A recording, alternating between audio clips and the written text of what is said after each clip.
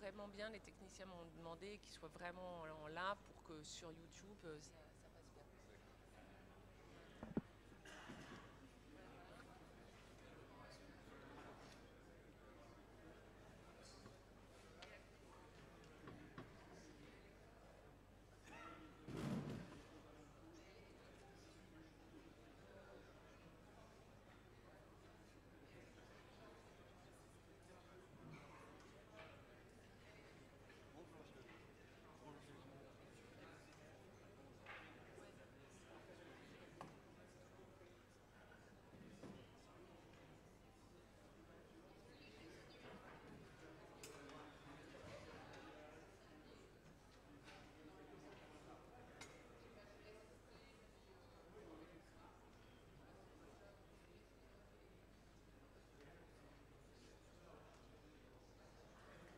Comment ça va, Philippe Ça va En forme Ben, ça va, ça va, ça va. Oui, oui, oui, oui, ça s'est bien passé. Et notre ami euh, a fait une prestation. C'était génial. Non, mais. Oui, ben, je sais bien, euh, c'est extraordinaire. Moi, je suis tout à fait d'accord avec toi. Pas dissocier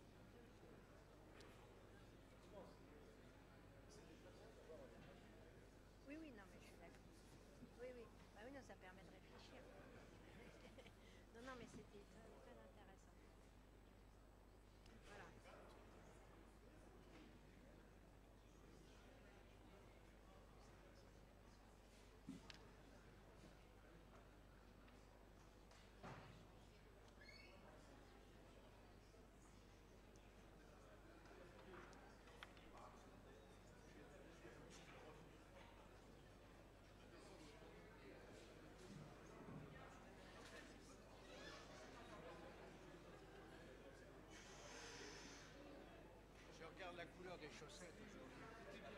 Elles étaient magnifiques. et, euh, je les ai eues en face de moi pendant une heure et demie.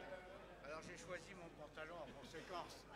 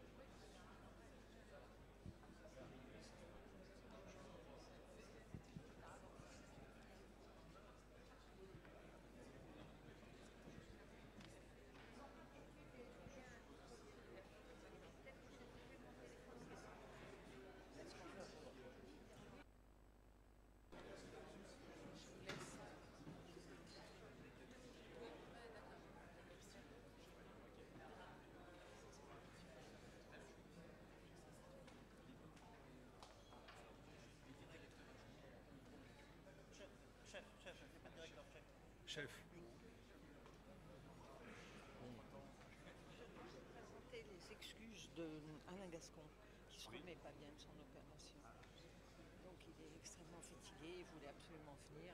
Puis il m'a mis un message il y a deux jours, écoute Béatrice, non, je peux pas, je peux pas faire. Yves, ça va, ça va, ça va. Il est extrêmement courageux. toute sa tête Oui, avec toute sa tête, il ne se plaint jamais. Il est chez lui. Il est chez lui, ça il va. Il a quelqu'un qui s'occupe de lui. Tout le monde qui passe, bien sûr, il n'est pas seul. Mais non, le gros courage, de dignité. Oui, oui, mais il suit bien tout ce que- Hier, hier, on a vu 100 personnes le matin.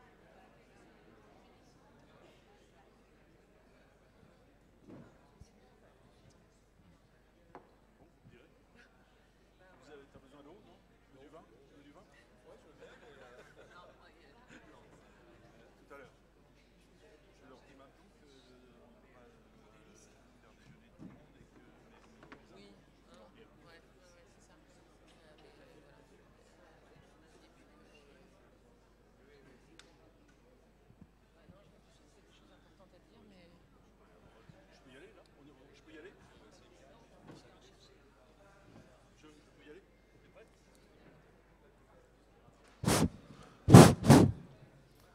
Monsieur le secrétaire général, ça va et toi? Bien, chers amis, euh, merci d'être là. On commence presque à l'heure euh, aujourd'hui. Donc vous êtes nombreux, vous avez bravé les éléments déchaînés, la pluie.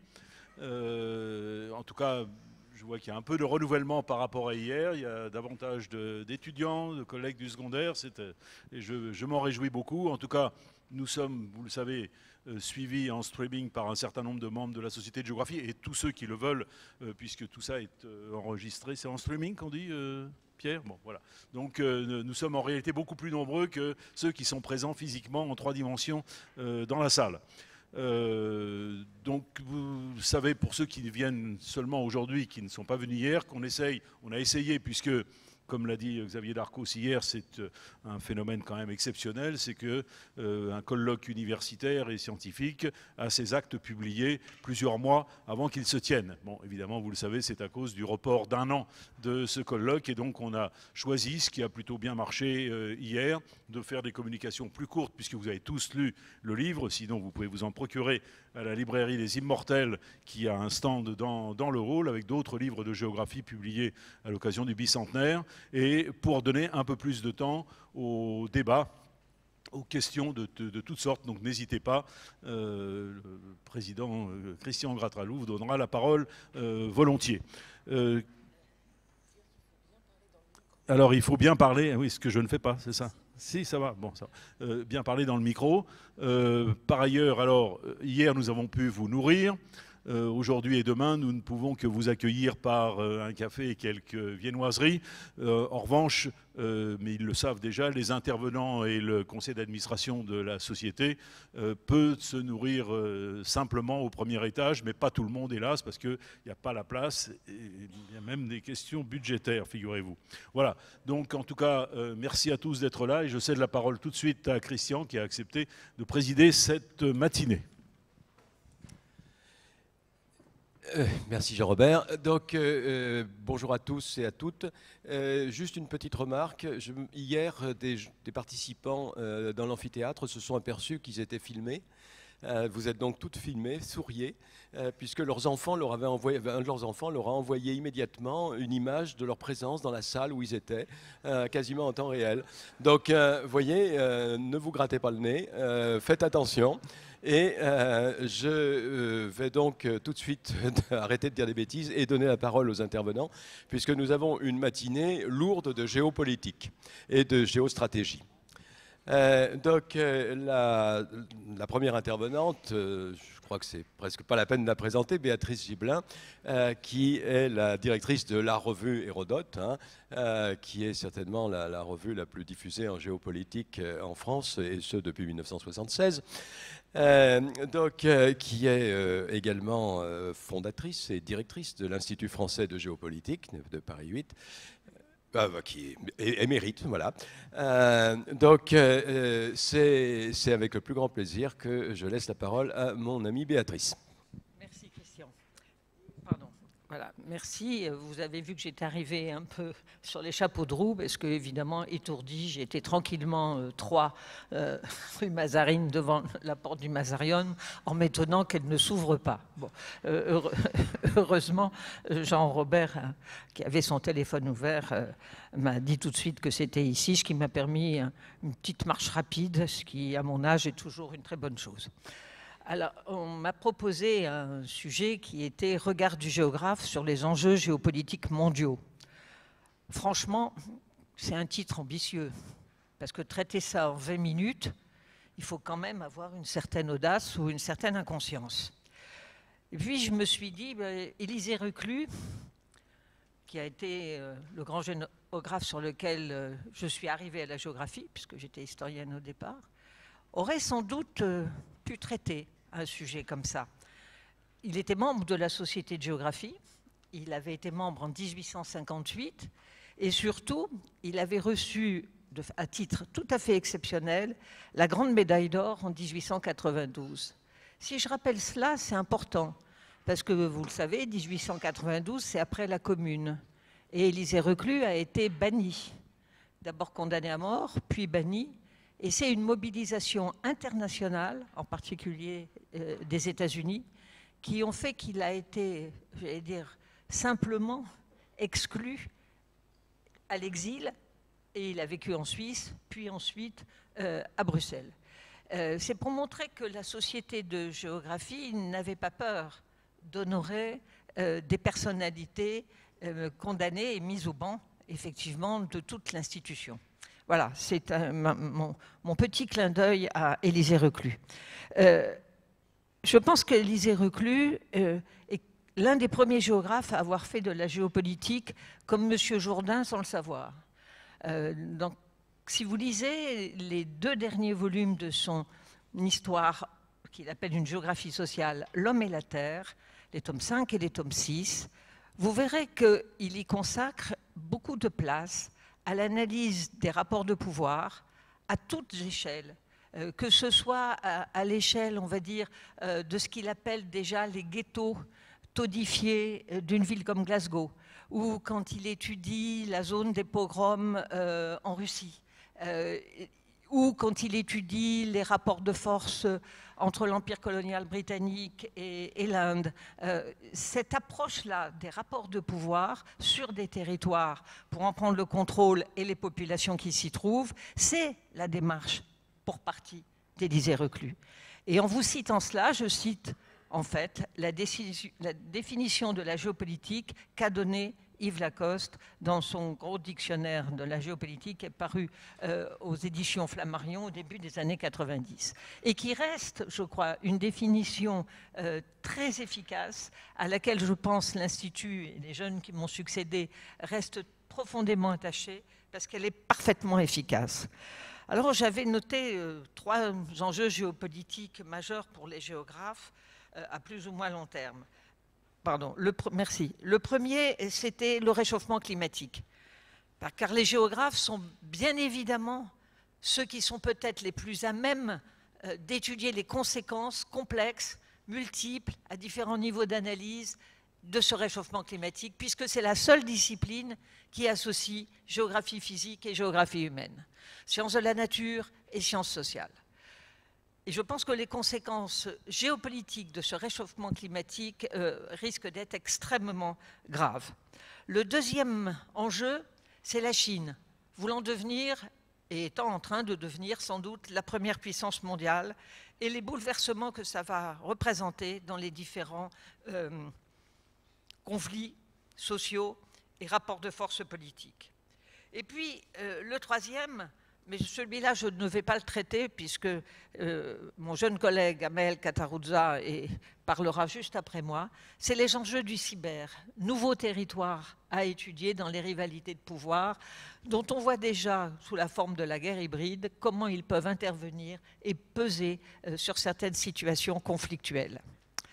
Mais cette réflexion sur les enjeux géopolitiques mondiaux, je l'ai pensée il y a un an, comme vous tous, tous ceux qui ont écrit dans cet ouvrage au printemps 2021.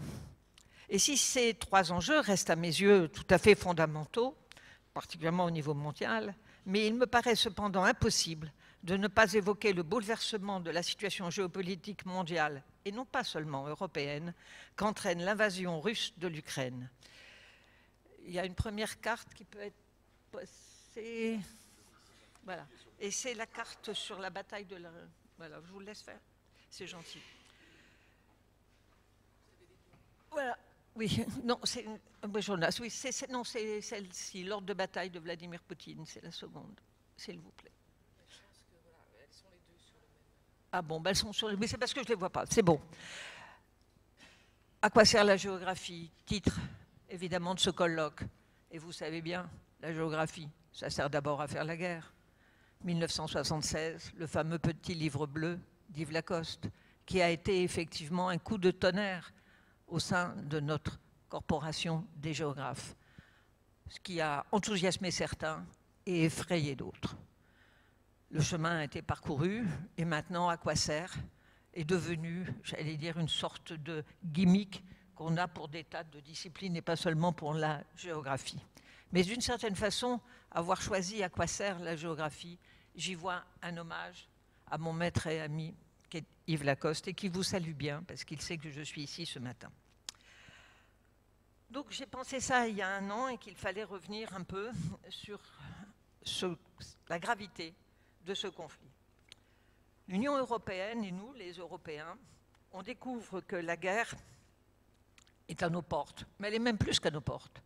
Elle est au cœur même du continent. Et si j'insiste, c'est parce qu'il ne faut pas que nous gardions cette représentation de quelque chose qui est à la périphérie et qui ne nous, concernerait qu'indirectement. Nous sommes directement concernés, et pour longtemps, par ce conflit russo-ukrainien.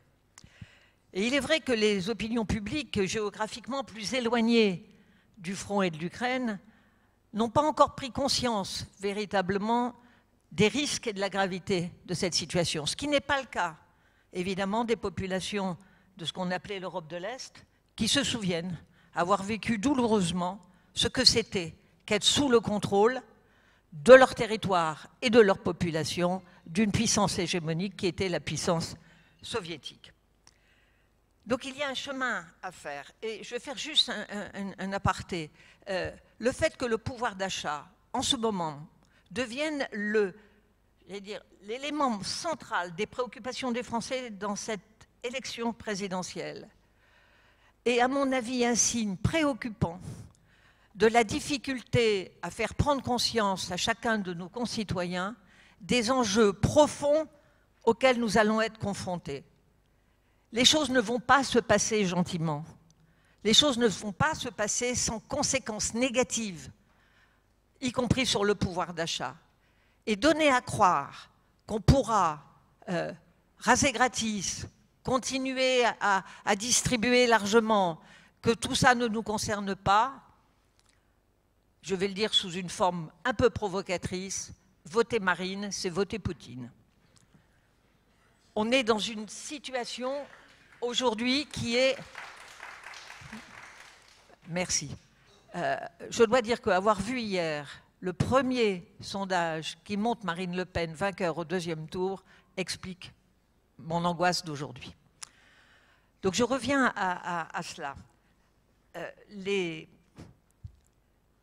Cette situation bouleverse considérablement les choses. C'est-à-dire que tout le logiciel sur lequel a été construit l'Union européenne, qui est le logiciel de la paix par le doux commerce, comme disait Montesquieu, nous avons la démonstration en ce moment même que ce logiciel-là est en train de faillir. Ça a été le pari de l'Allemagne, de dire que si on faisait beaucoup d'échanges avec les Russes, alors ils seraient liés économiquement fortement à l'Allemagne et qu'on arriverait à le tenir en laisse. On n'a pas tenu en laisse Poutine parce qu'on voit de nouveau combien le politique peut prendre le pas sur l'économique en fonction d'un certain nombre de représentations. Et c'est une révolution, je pense, pour l'Union européenne, dont le, projet, dont le, projet, je le redis, est, est pensé sur la paix et qui se voit contrainte d'affronter la guerre. Et d'affronter la guerre sans avoir la moindre force militaire. La, le seul État encore dans l'Europe avec une force militaire complète, c'est la France mais qui n'est pas non plus euh, exceptionnel. Et la leçon que nous donnent les Ukrainiens, c'est que la défense de la patrie, que la défense du territoire est absolument majeure. Constatez simplement que dans les 80% d'Ukrainiens arrivés en France, il y a 80% de femmes et enfants dont les plus âgés ont au plus 16 ans. Ce qui veut dire que tous les hommes, y compris les jeunes, sont restés au pays pour se battre. Autre information, 80% des Afghans venus en France étaient des hommes. Sans commentaire. Donc une situation particulièrement euh, importante et grave sur le plan géopolitique. Cette première carte sur l'ordre de bataille de Vladimir Poutine, c'est simplement pour vous montrer, mais ce que vous savez tous ici bien sûr, c'est que la guerre a été préparée dans le long terme. La guerre n'est pas une décision en cours. C'est même pas la décision du seul temps où on a mis les forces russes autour de la Biélorussie et aux frontières est de l'Ukraine. La présence euh, à Tartus, sur le littoral syrien, est une base qui permet effectivement aux Russes de tenir la partie orientale de la Méditerranée. C'est tout le contrôle de la mer Noire, avec alliance ou pas, selon, disons qu'elle est à géométrie variable, avec le contrôle des, des, du Bosphore par Erdogan. qui une fois laisse passer, qui une fois ferme le, le détroit. C'est l'accès aussi aux mers Nord, c'est l'importance de Kaliningrad. On se rend compte en fait que vous avez là une situation qui a été terriblement réfléchie, terriblement pensée, en rappelant que l'armée russe est la seconde armée mondiale. Au moins par son nombre d'ogives nucléaires, et c'est même la première. Mais ce qu'on découvre, c'est que pour une armée, il faut avoir du sens au combat.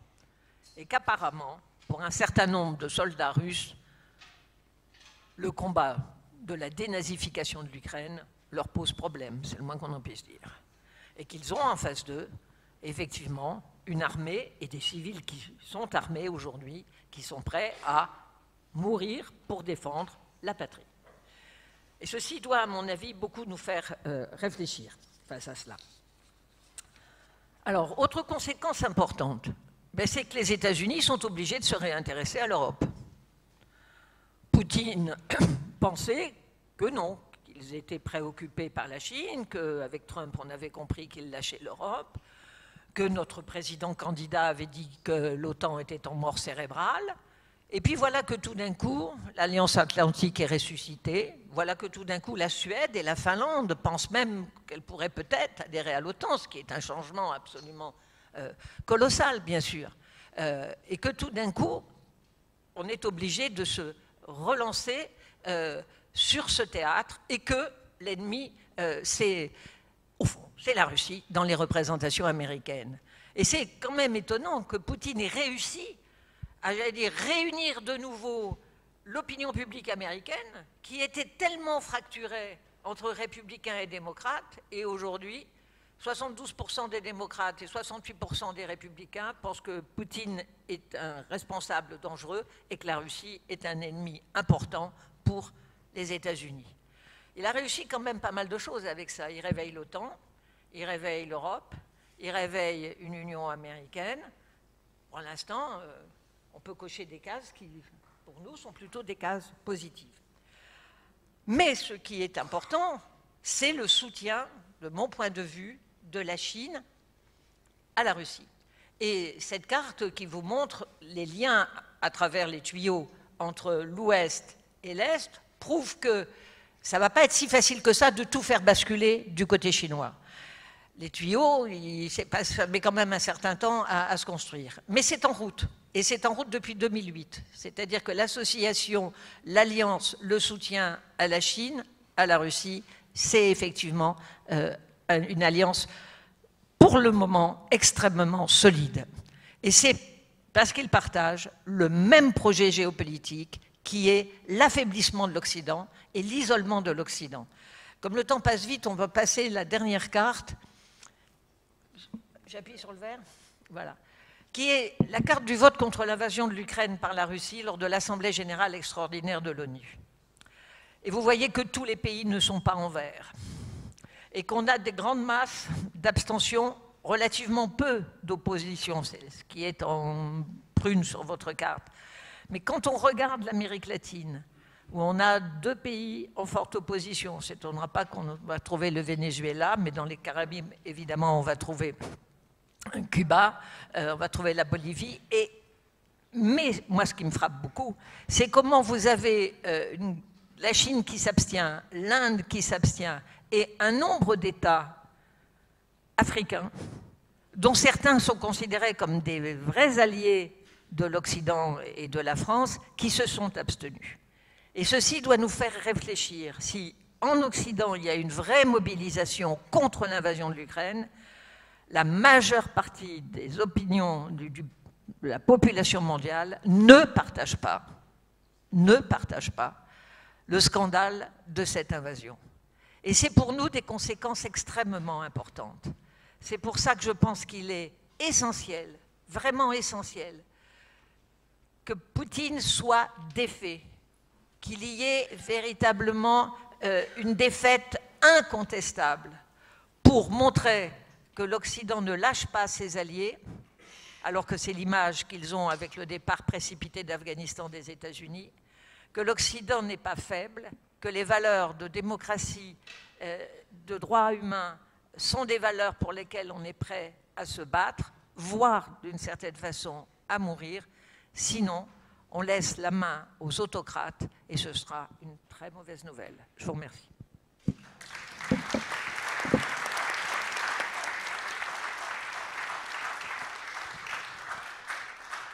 Bon, merci Béatrice pour cette euh, intervention effectivement vigoureuse et qui interprétait dans le, show de l'actualité le texte que tu as, tu as donné pour les actes.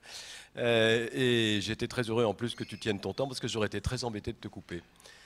Euh, voilà, donc euh, néanmoins, on n'a pas le temps pour euh, une question précise à ce moment-là. Ça sera renvoyé au débat à l'issue des quatre premières interventions, enfin des trois premières interventions, pardon. Et je passe tout de suite la parole à Amael Kataruzza. Oh, donc on reste dans la géopolitique. Je signale juste que Amael est aussi le président d'une très jeune association, puisqu'elle n'est que centenaire, le CNFG, qui va organiser le centenaire de l'UGI en juillet prochain.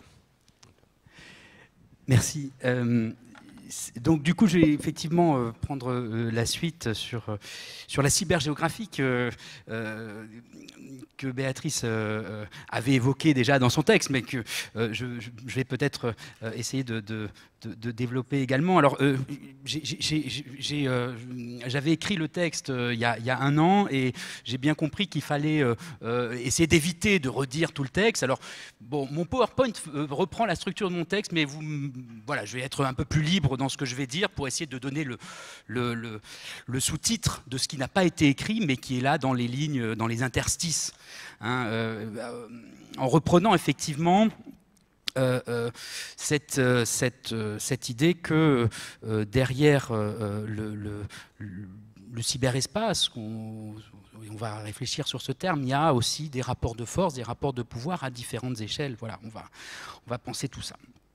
Alors effectivement, la, question que je, posais euh, au tout début de mon texte et qui, je pense, euh, interpelle tout le monde aussi, c'est comment faire une géographie du numérique. On a tous l'impression, effectivement, que euh, le numérique, c'est une espèce de, sphère dans laquelle les distances sont abolies, dans laquelle on a accès à l'information d'un peu partout et nulle part. Alors je Juste euh, déjà un petit point pour rappeler l'actualité également. On vient de parler de l'Ukraine et aujourd'hui, euh, les Ukrainiens se sont euh, battus et ont demandé notamment, ça a été un petit peu médiatisé ces derniers temps, peut-être quelqu'un, vous avez vu l'information, on demandait à Elon Musk de déployer autour de l'Ukraine des satellites de basse orbite qui vont permettre de continuer à avoir une connexion en Ukraine, ce qui prouve bien déjà que la, la connexion, elle n'est pas forcément partout et nulle part, elle est bien localisée quelque part et que quand on a un conflit, elle s'arrête euh, euh, parce qu'effectivement, euh, il y a des enjeux ici géopolitiques et des enjeux tout simplement de rapport de force. Et effectivement, là, Elon Musk a donc déployé, il a tout de suite répondu à l'appel des Ukrainiens, a déployé ses, ses, satellites. Et aujourd'hui, on voit bien que ce conflit, il a aussi un impact très, très fort dans ce qu'on va appeler euh, le cyberespace ou l'espace numérique. Hein. Euh, on voit bien ce qui se passe dans les réseaux sociaux, sur les réseaux sociaux où euh, le, conflit continue hein, avec des informations de part et d'autre. Et les Ukrainiens mènent aussi un combat sur les réseaux sociaux, euh, d'où l'importance du numérique. On voit bien aussi ce qui se passe en souterrain dans euh, les, attaques numériques euh, de part et d'autre. donc tout ça hein, fait, fait, aussi l'objet de, de, la réflexion. Et du coup, effectivement, on voit bien que ce que je dis, la réflexion sur cette espèce de, sphère qui serait finalement, entre guillemets, agéographique, en réalité, elle est profondément géographique. Euh, euh, et euh, de fait, d'ailleurs, les géographes se sont intéressés à cette question depuis déjà le, début des années 2000. On produit des, des, travaux. Et je vais essayer de me faire l'écho un petit peu de tout ce qu'on pourrait Enfin de, voilà, de tout ce qu'on peut dire en géographie du numérique, en essayant aussi, et c'est le sous-titre que je vais essayer d'apporter, qui est peut-être moins visible dans le texte, en essayant aussi de montrer que derrière cette géographie, euh, de toutes les manières, de toutes les, méthodes qu'on peut utiliser pour euh, euh, décrire ça, derrière cette géographie, il y a des rapports de force, évidemment, il y a des rapports de pouvoir, évidemment, il ne faut pas être neutre, ce n'est pas simplement un espace de communication où, tout le monde communiquerait et tout irait bien, non, il y a aussi effectivement des, rapports de pouvoir qui s'expriment. Voilà, donc je vais, tout de suite rentrer euh, dans, le sujet pour euh, euh, déjà essayer de définir les termes, parce que effectivement, on se rend compte que ces termes charrient énormément de représentations qui obscurcit un petit peu la manière dont on interprète toute, cette dimension numérique qui nous envahit aujourd'hui. C'est vrai que quand on parlait de cyberespace il y a quelques années, aujourd'hui on, parle plutôt d'espace numérique, ou, et j'introduirai la notion de datasphère, mais quand on parlait de cyberespace, on faisait référence à une notion qui, euh, en réalité, avait été inventée euh, par euh, la science-fiction dans les années 80.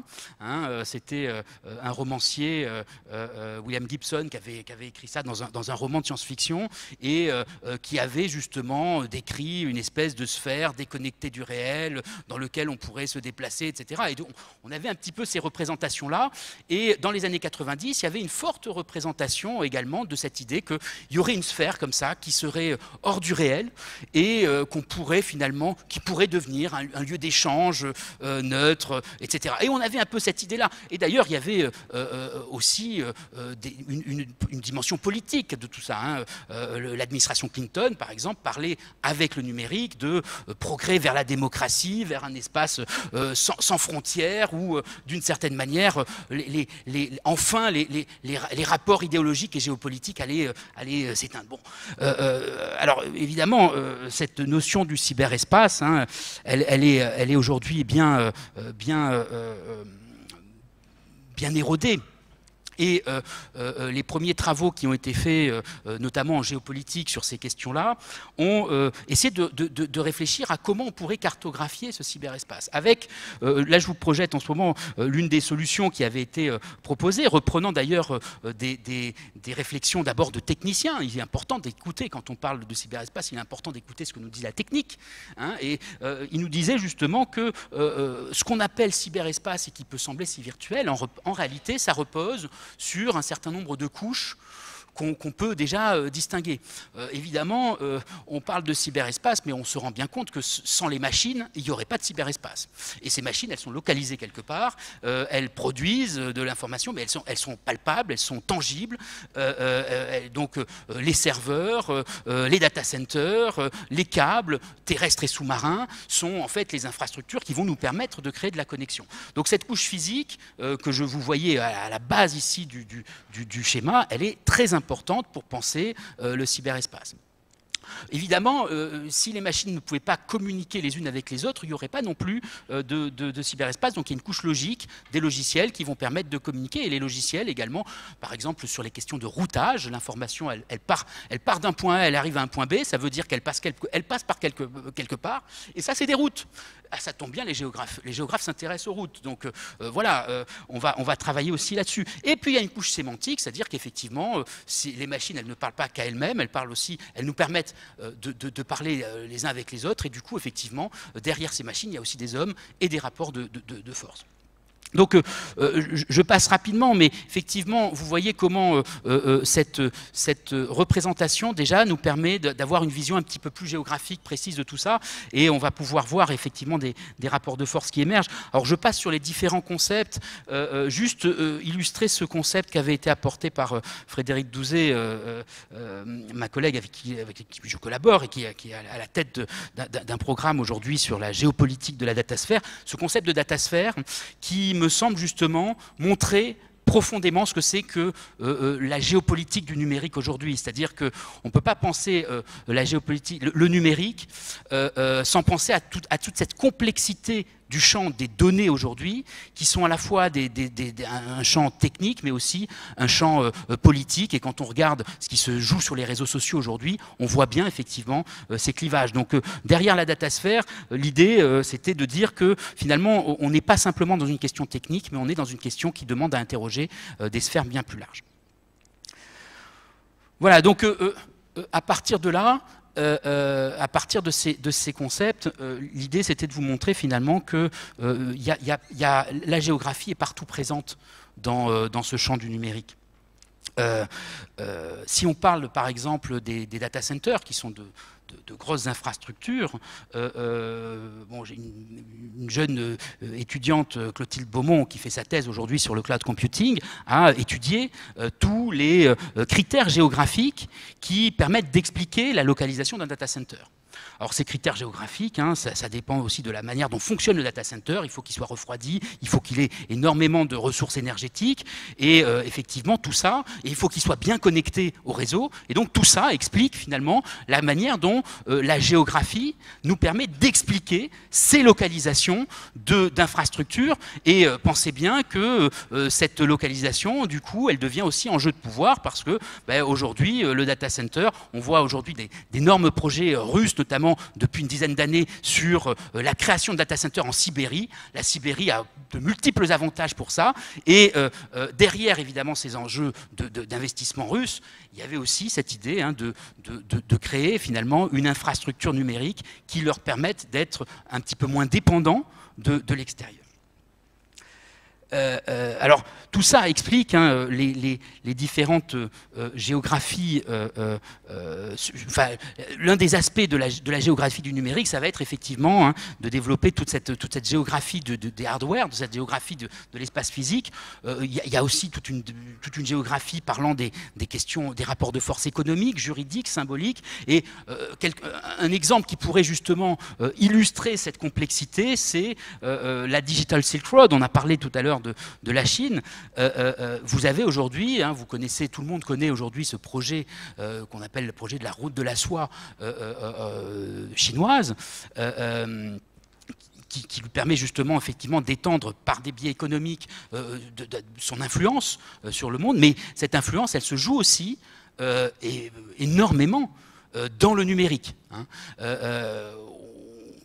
et euh, euh, ici, euh, cette, carte reprend notamment hein, les différents aujourd'hui projets numériques portés par des grandes entreprises comme Huawei, Baidu, les, GAFAM chinois, qui aujourd'hui ont d'énormes avantages et d'énormes atouts à faire valoir sur, le, monde, et qui, du coup, aussi, hein, ont une, aujourd'hui, il y a une géographie, un rapport de force hein, qui s'exprime qui à travers cette, cette carte de la Digital Silk Road, avec une, lutte euh, euh, euh qui est déjà visible hein, entre euh, un bloc américain et un bloc chinois. Cette rivalité sino-américaine, on l'a vu de manière très nette lorsque, l'administration Trump a, interdit un certain nombre d'opérateurs chinois et a, mené cette campagne politique du Clean Network, ce qu'il appelle, ce, qu ce que l'administration américaine appelait le, réseau euh,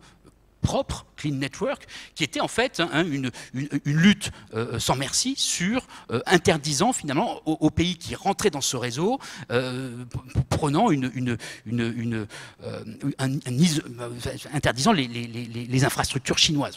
Donc il y a ici effectivement des, rapports de force qui se jouent, dont on n'a pas encore totalement hein, le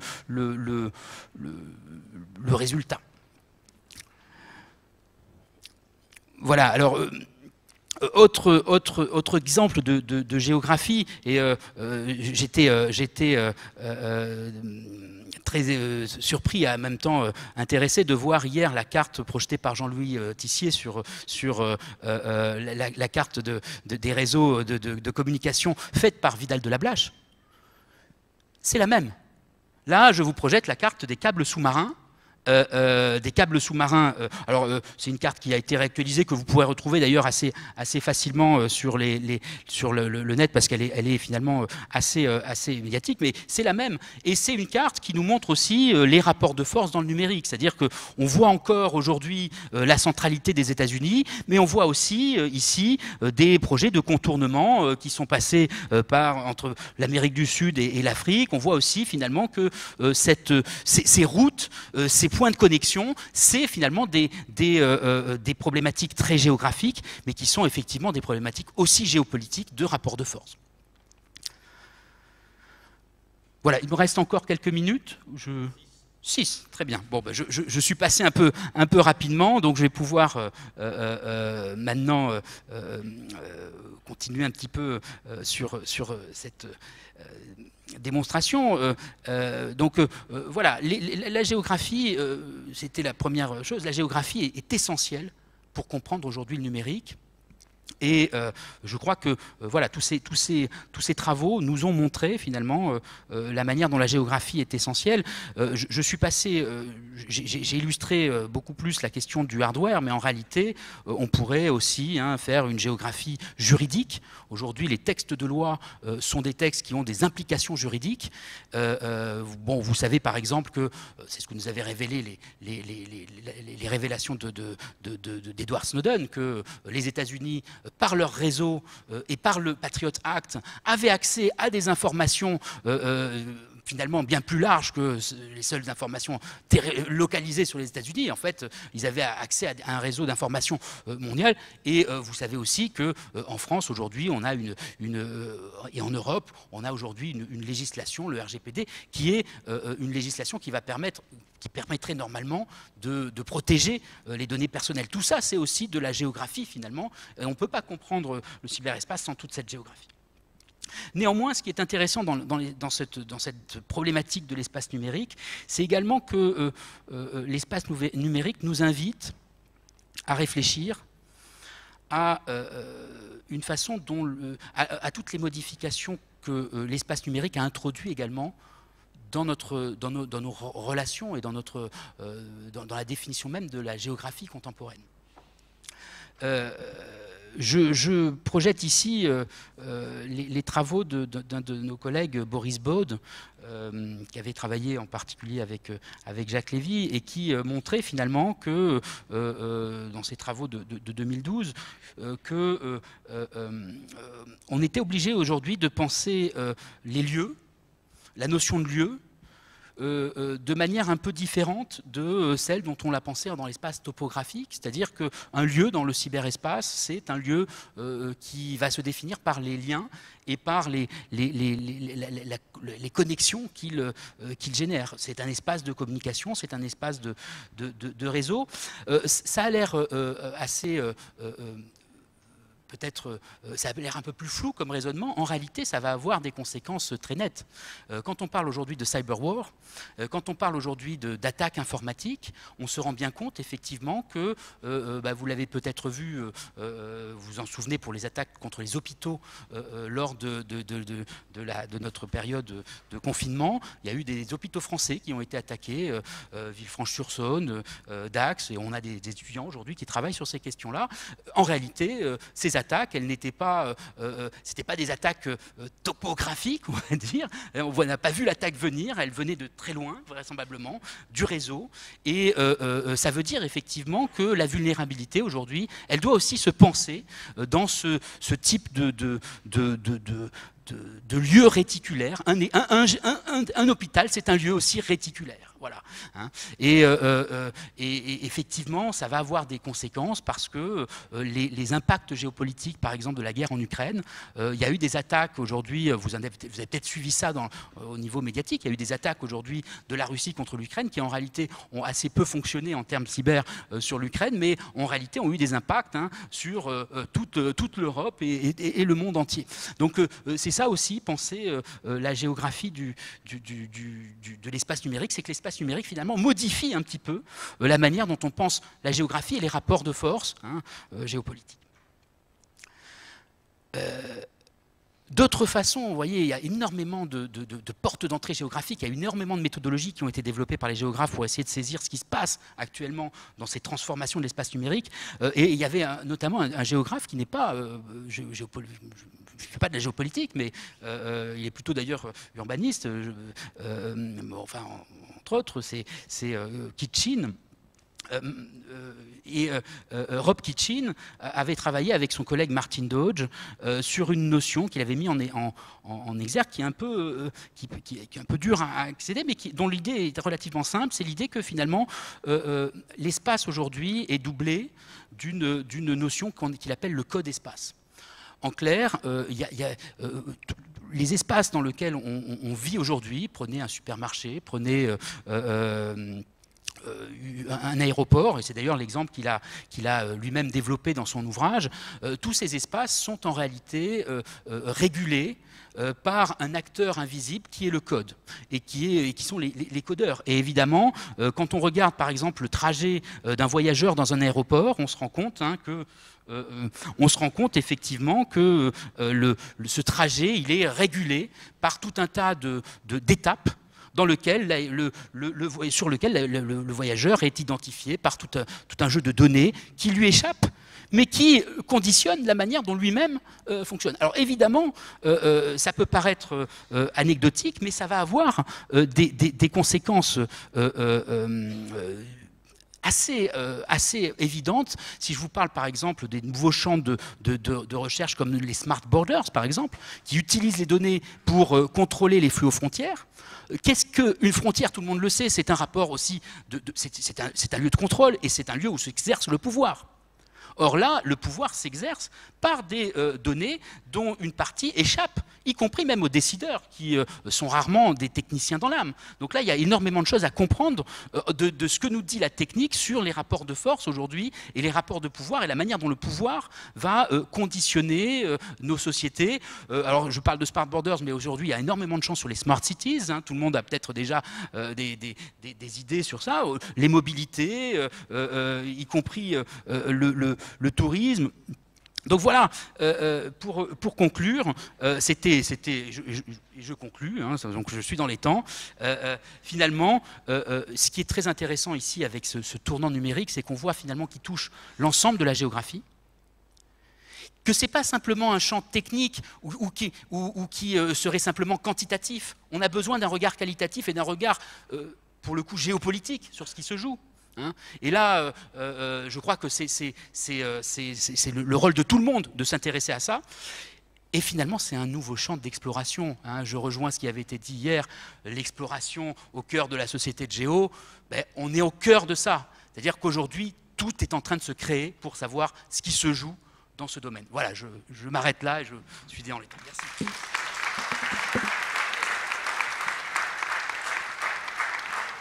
Bien.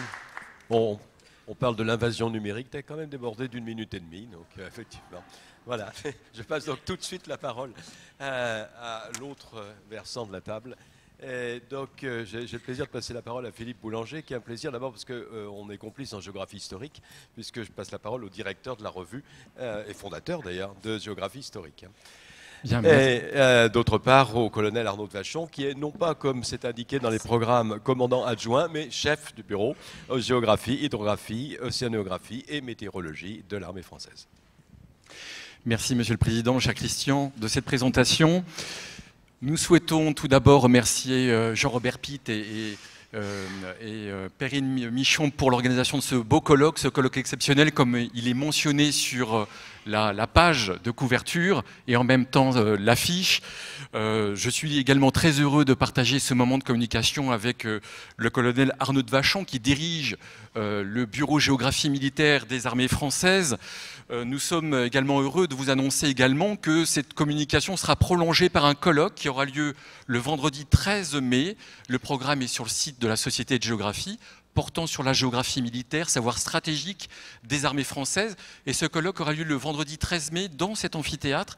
Et je tiens à remercier Jean-Robert Pitt de son accueil une fois de plus pour euh, présenter de tels événements. Alors comme l'écrivait Sun Tse dans L'art de la guerre au VIe siècle avant Jésus-Christ euh, déjà, connaît la terre et le ciel et la victoire viendra. Euh, on, prend conscience que la géographie est un savoir indispensable pour le militaire. Euh, tout militaire est géographe dans l'âme. C'est pour cette raison que nous communiquons à deux. Il y a à la fois l'académique et le géographe opérationnel.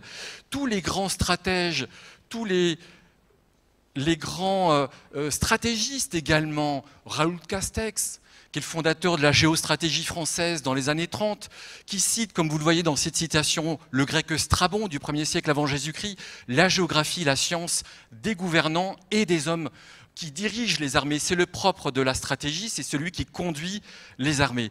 La géographie est donc indissociable de la stratégie militaire. Et pour répondre en quelques minutes à cette question extrêmement large, je vous aborderai moi quelques liens qui mettent en rapport la géographie et la stratégie militaire. Et monsieur le colonel Arnaud de Vachon abordera la géographie, le raisonnement géostratégique et l'aide euh, à la décision.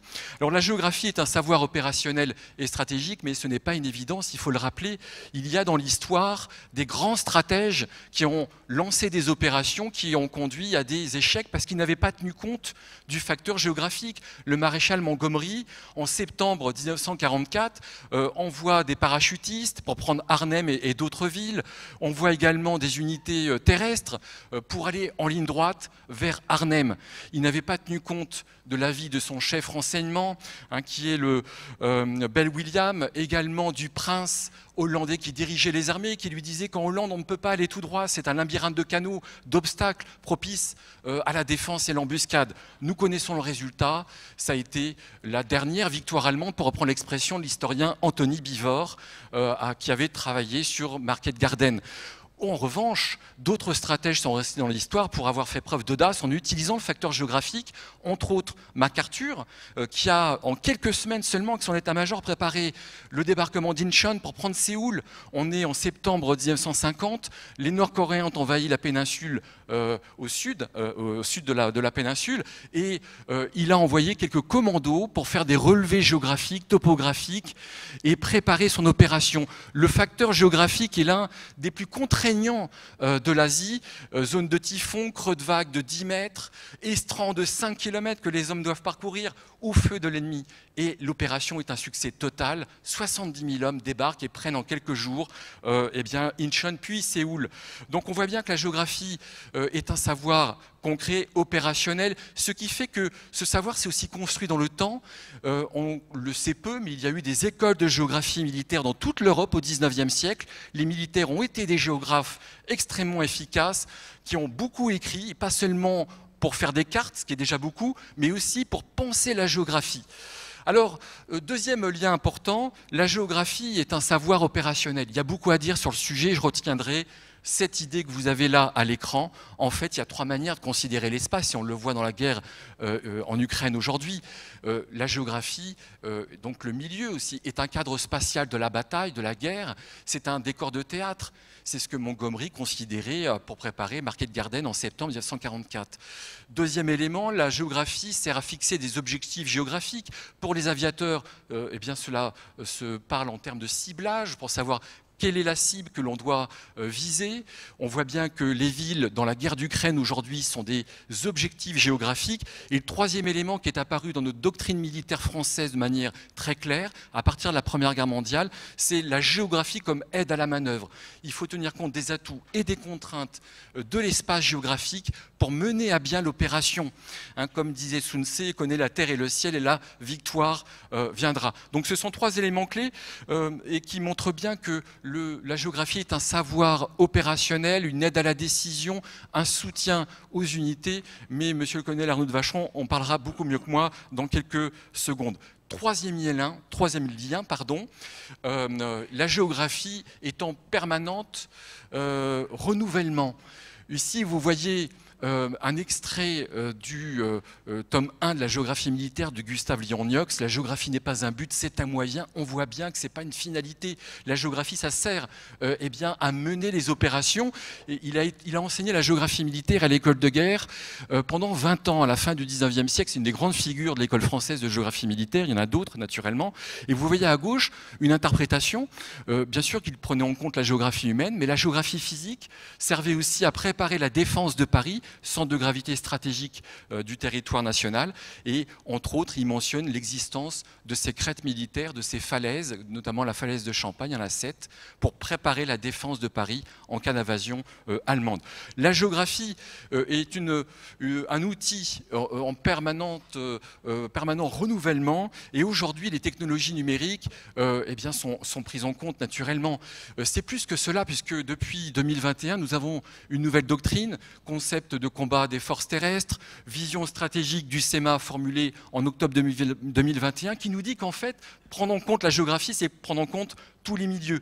Juste avant, nous avons entendu une communication sur le cyberespace, mais il y a aussi l'infosphère, il y a aussi les ondes électromagnétiques, il y a également tout un ensemble de milieux bien plus larges que le militaire prend en compte actuellement.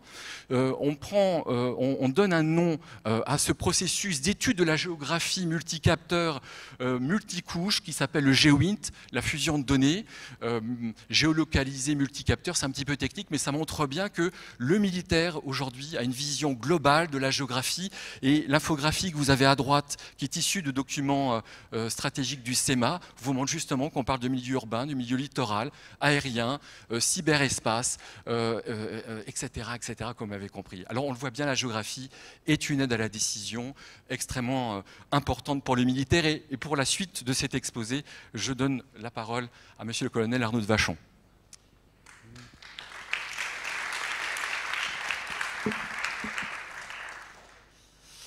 Eh bien, dans la continuité de Strabon, qui a été largement cité, mais pour euh, ceux qui ne visualisent pas euh, cet amphithéâtre, dont le nom figure sur un des médaillons, euh, et dans la continuité de stratèges ou stratégistes plus contemporains. Alors, l'amiral Castex a été situé, mais, cité, mais on peut ajouter le général Beaufre. et enfin, le professeur Couteau-Bégari, qui, qui, a beaucoup écrit sur la stratégie. Eh bien, intéressons-nous à la géographie pour concevoir et conduire la guerre au niveau stratégique, dans un sens global. D'ailleurs, euh, je souhaiterais euh, vous proposer une redéfinition de la géostratégie, pour laquelle il y a eu de nombreuses définitions, et pour ma part, que je résume à la stratégie unifiée des États ou des organisations sur des grands espaces à l'échelle globale et dans tous les milieux qui ont été rappelés, les cinq milieux terrestres, aériens, spatial, maritime et le cyberespace ou la datasphère. Le point important de l'approche euh, géostratégique est la nécessaire coordination de ces différents théâtres d'opération.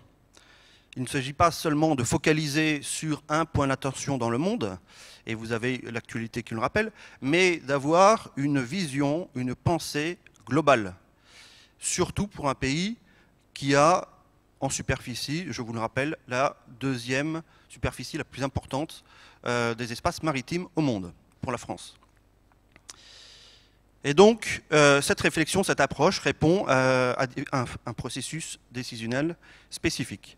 Alors, en quelques minutes, je vais me focaliser davantage sur le volet plus général de la connaissance et de l'anticipation, plutôt que le, les domaines, les aspects techniques ou tactiques qui sont euh, mieux connus, liés à la manœuvre, comme le positionnement, le déplacement, la navigation dans les trois dimensions, et l'utilisation des armes en combat. Alors, je ferai référence à deux cas d'usage, l'un historique, l'autre contemporain, à deux échelles différentes, comme il se doit, pour illustrer cette approche. 1943 est une date clé, à plus d'un titre. Alors, moins en raison de la séparation du couple évoquée hier, de l'agrégation de l'histoire et de la géographie, et davantage lié à la première apparition du terme globalization, qui nous vient évidemment d'outre-Atlantique, et qui illustre cette dimension globale, cette première appréhension du monde pensé globalement. Pour s'en convaincre, mais sans rentrer dans le détail historique, côté allié, au printemps-été, l'engagement total contre les forces de l'Axe couvre cinq théâtres principaux. D'ouest en est, la bataille de l'Atlantique est avant tout une lutte pour la suprématie logistique et dépend étroitement de l'économie de guerre. En Europe occidentale, les bombardements alliés massifs visent d'abord les villes et les centres industriels de la Roure et dans les Pays-Bas pour disloquer la machine de guerre la machine industrielle allemande et accessoirement faire tenter de fléchir le, moral adverse. En Afrique du Nord, la campagne de Tunisie se termine début mai. Churchill persuade alors les Américains de poursuivre en Italie, en dépit de leur volonté évanescente déjà d'intervention entre le Pas-de-Calais et la Normandie. En Europe orientale, au premier semestre, l'affrontement entre Russes et Allemands connaît une phase d'équilibre.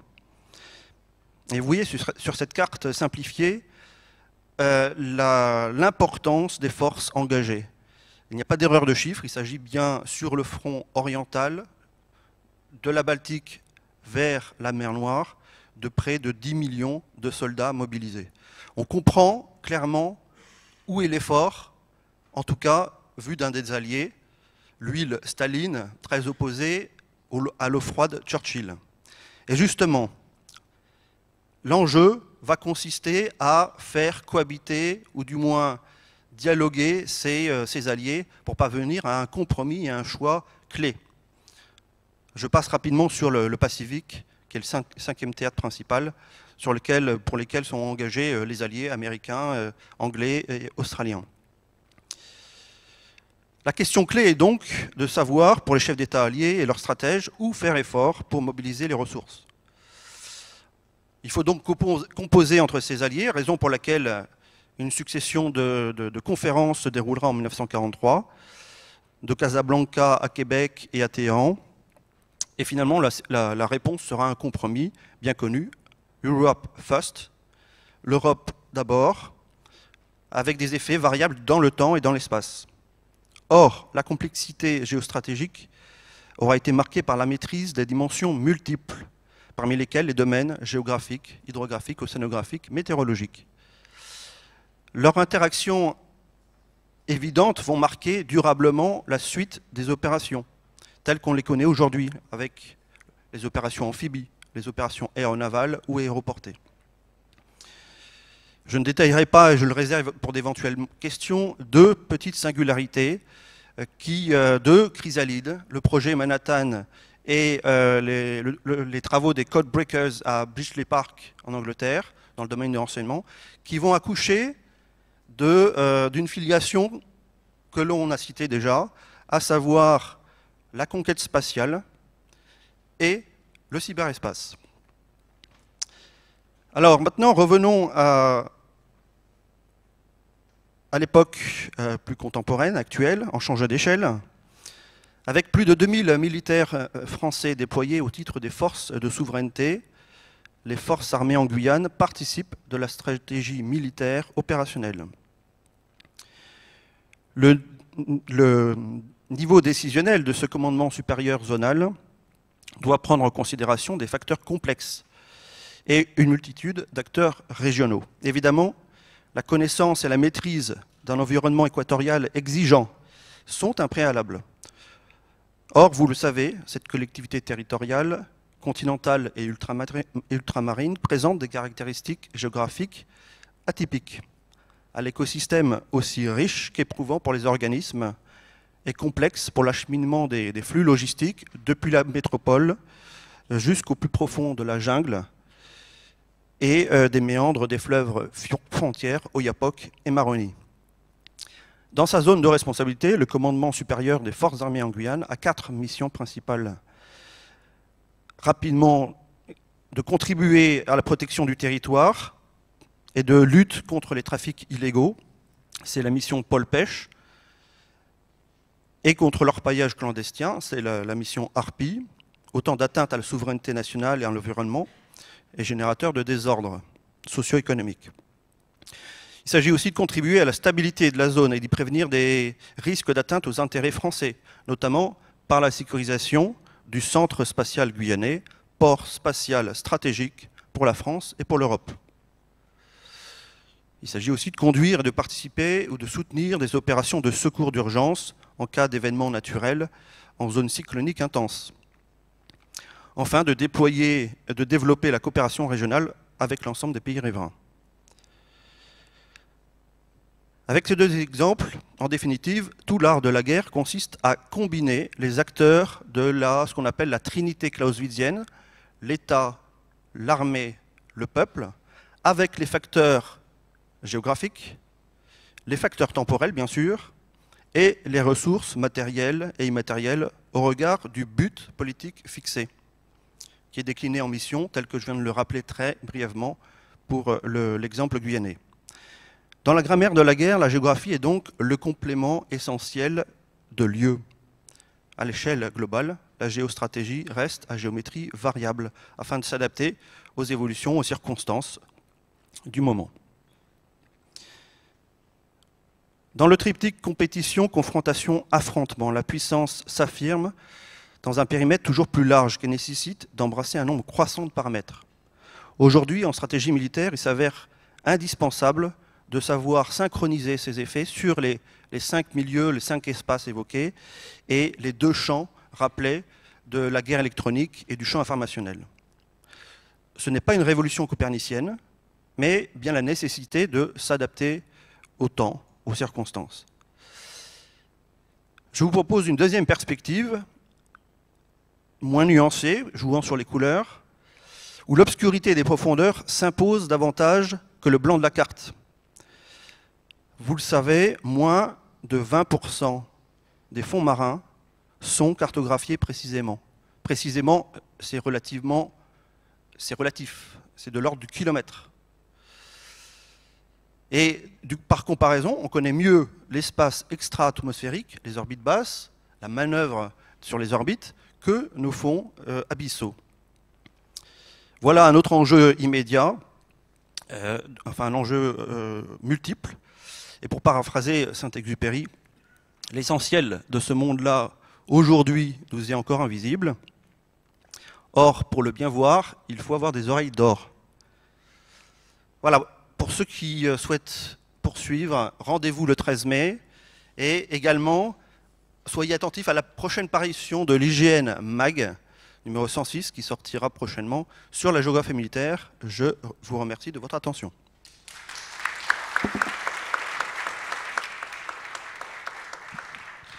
Bon, ben, je remercie tous les intervenants de ce temps euh, totalement respecté. Alors, euh, combien de temps avons-nous pour euh, le débat, pour les questions? Jusqu'à moins 10. Bon, bah, ça nous laisse effectivement 13 euh, minutes. Euh, alors, bah, allez, voilà, allez-y. Est-ce qu'il y, a un micro-baladeur Oui? Oui, bon. Bonjour, euh, Jean-Luc Schilling, trésorier administrateur de la Société de Géographie. Euh, J'ai deux questions pour Béatrice Gibelin, dont je salue la vigueur, peut-être un peu plus nette que chez Philippe Meyer, l'heureuse vigueur. Euh, deux questions, donc. Euh, Biden, d'une part, et puis la Chine, d'autre part.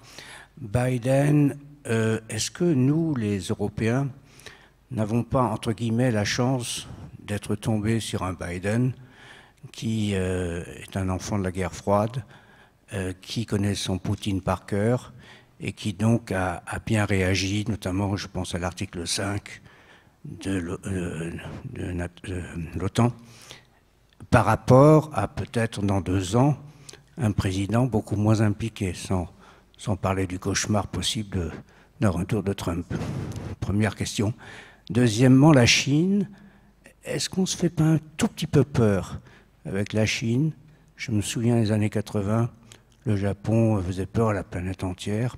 Bon, c'est vrai que l'échelle n'est pas la même, mais euh, la Chine me semble quand même très repliée sur ses problèmes intérieurs. Taïwan compris bien sûr, euh, beaucoup plus qu'elle ne cherche, sauf à s'alimenter en dehors de ses frontières, à menacer le reste du monde. Euh, par ailleurs, il y a un problème démographique dans toute cette région, la Chine n'y fait pas exception.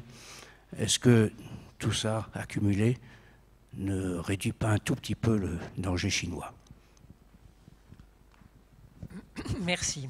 Alors avons-nous la chance d'avoir eu Biden? Oui, quand on compare à Trump. Il est évident qu'on a eu de la chance. Bon, et que, et que peut-être on peut avoir de nouveau Trump dans deux ans. Euh, Hérodote vient de sortir un numéro, euh, les États-Unis après Trump avec un point d'interrogation. Parce que, évidemment, ce n'est pas tout à fait certain qu'ils ne réussissent pas de nouveau cette opération. Euh, donc, à ce titre, oui, vous avez raison. La question que je me pose, moi, fallait-il annoncer d'entrée de jeu très clairement qu'il n'y aurait aucune intervention militaire? C'est-à-dire annoncer d'entrée de jeu à Poutine, on n'ira pas. On te, laisse le terrain, là, on n'ira pas.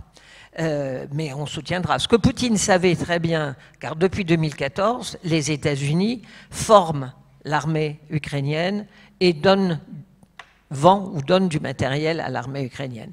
Si l'armée ukrainienne a réussi à résister euh, de cette façon, c'est d'abord parce qu'elle euh, défend le patriotisme exceptionnel des Ukrainiens. C'est une nation qui se forge dans la guerre, comme beaucoup de nations qui se sont forgées évidemment dans, la guerre. Donc ça, c'est incontestable. Mais c'est aussi euh, par une préparation réelle donnée par les Américains. Ce qui veut dire à Poutine, c'est déjà l'OTAN l'OTAN est déjà présent. Évidemment, en, exagérant, bien sûr. Donc c'est une question qu'on peut se poser, mais vous avez raison. Euh, heureusement que ça a été Biden et qu'il connaît l'Europe et qu'il connaît Poutine, mais néanmoins, il est très prudent dans un réinvestissement, euh, y compris directement militaire, sur le territoire européen. Les Américains étaient jusqu'à un passé très très récent dans une position isolationniste. On a, largement donné, euh, et ça nous a coûté très très cher, ça suffit. Maintenant, on s'occupe de nous. Maintenant, l'opinion publique est peut-être aussi en train de changer. Puisque je vous citais euh, cette réunion, d'une certaine façon, d'une opinion publique américaine euh, en, vue, euh, au fond, de préserver l'Europe. Donc c'est une question qui, reste ouverte. Sur la Chine, je serais moins optimiste que vous. La Chine vend la représentation qu'elle, elle, n'a jamais colonisé personne, qu'elle, elle est toujours restée sur son territoire. Bon, enfin, si euh, la Chine est un grand pays, c'est aussi quand même parce qu'elle a mis la main hein, sur euh, un certain nombre de pays euh, ou de minorités ou de groupes et, qu'elle a clairement sinisé. Mais elle vend très bien, et en particulier en Afrique, le fait qu'elle, elle n'a pas colonisé. Et, donc, elle va les aider, qu'elle va euh, construire des routes, des, euh, aéroports, des, hôpitaux, et, mais il y aura la note. Le Sri Lanka, c'est déjà qu'il doit payer la note puisqu'il n'a pas réussi à en rembourser et donc privatisation du port. Euh, les Chinois ne sont pas des enfants de cœur ils ne sont pas plus généreux que les autres et ils ont une profonde, profonde image de leur supériorité et que la faiblesse du 19e siècle, c'est un temps court dans une très longue histoire de la civilisation chinoise. Je disais toujours à mes étudiants, si vous avez envie de comprendre la différence, allez au musée Guimet et regardez la finesse euh, de la porcelaine Céladon et souvenez-vous qu'à l'époque, on mangeait dans des écuelles en bois. Ça vous donnera une petite idée de la différence euh, et, donc comment ça alimente une représentation d'une extrême supériorité. Les Chinois sont des nationalistes extrêmement forts. Et je pense que les nouvelles routes de la soie qu'on a présentées comme étant des routes de commerce, là encore une fois, le doux commerce avec, euh, comme le disait Montesquieu, en fait, c'est un moyen d'hégémonie chinoise sur l'ensemble du monde. Les, les Chinois se voient comme la première puissance mondiale à terme. Et ils ne lâcheront pas. C'est pour ça que je suis moins optimiste que, vous. Maintenant, l'histoire n'est jamais écrite. Il peut toujours se passer des tas de choses, mais elle risque de coûter cher. Et la différence avec le Japon, c'est que le Japon, quand on le redoutait, était sous un contrôle à ce moment-là, puisqu'on était post-deuxième guerre mondiale, sous un contrôle américain dans ce qui était le champ du militaire et ils n'ont toujours pas euh, d'armée nucléaire. Ce serait pas très difficile à ce qu'ils en aient une rapidement, je vous l'accorde, mais les Chinois sont en train de faire un rattrapage extrêmement rapide et d'une certaine façon, on les y a bien aidés hein, en leur donnant un certain nombre de technologies au nom des affaires et du grand marché qu'ils représentaient. Il nous reste sept minutes. Euh, quelques questions courtes et des réponses brèves. Alors, parole, juste avant, une autre question, un petit point de géographie numérique par Pierre qui élargit les frontières de cet amphithéâtre. Oui, tout à fait. Alors euh, bonjour à tous et à tous, Pierre Raffard. Donc je suis un peu l'homme à tout faire euh, de la Société de Géographie, notamment membre du, Conseil de ministres. Voilà, le couteau suisse, tout à fait. Alors euh, simplement un petit point pour nous dire qu'on est tous réunis là dans, l'amphithéâtre, mais on a aussi plusieurs amis et collègues qui nous suivent de N'Djamena, donc au Tchad, euh, un des amis qui nous suivent du Maroc et enfin euh, du Sénégal, de Dakar. Donc vous voyez, comment dire, la géographie dépasse largement les, frontières et de l'amphithéâtre et de Paris et de la France. Et j'en profite parce que j'ai le micro pour poser une question à, Maël Katarouza vous nous parliez euh, beaucoup, enfin moi c'est un sujet qui me passionne en plus la question de la, géopolitique des données, mais vous ne nous avez pas parlé dans votre présentation, j'imagine que, enfin je connais déjà vos recherches, notamment votre, ouvrage sur la géopolitique des, données numériques qui a été publié au Cavalier Bleu, j'en profite pour faire un peu de, pub. Euh, comment, vous vous avez pas parlé des États et du rôle des États justement dans cette géopolitique? Euh, vous nous avez parlé des États-Unis qui sont vraiment, comment dire, qui ont un, un, rôle vraiment euh, central dans cette question de la, dimension géopolitique des données, de la Chine bien entendu. Et comment dire, là on voit les, comment dire, ce week-end on va aller voter ou pas, on va voir. Euh, qu'est-ce qu'il en est de la France? Et de l'Europe. moi, j'ai un peu l'impression qu'on est un peu à la traîne sur cette question des données. Et là, bon, même si on n'a pas eu du tout de campagne présidentielle, ni sur l'éducation, ni sur absolument rien, euh, la question des données, elle, est, me semble totalement absente, alors même qu'elle est centrale.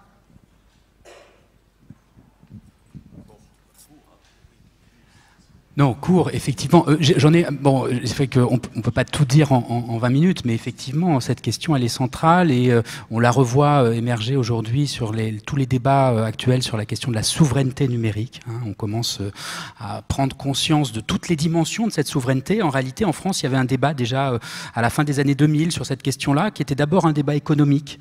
Hein. On a eu des penseurs qui ont commencé à réfléchir, et notamment aussi un, un rapport du Sénat qui a commencé à réfléchir sur cette question-là en disant, bah, effectivement, si, tous les, si tout le commerce se fait par Amazon et par, euh, et par tous, ces, tous ces outils, euh, euh, et notamment via les GAFAM, que restera-t-il de l'emploi en France? Donc il y a cette première dimension. Et puis euh, aujourd'hui en France, il y a toute la question, et ça a été rappelé aussi euh, par, euh, par les, interventions précédentes, de, la, de la, la, question de stratégique, de savoir comment on défend aujourd'hui un territoire. J'ai parlé quand même de, de, de la, de la, des attaques contre les hôpitaux, mais en réalité ces attaques, elles sont aujourd'hui quotidiennes en France. Et la question, c'est effectivement, il y a tout un champ hein, qui s'est lancé sur euh, toutes les questions de cyberdéfense.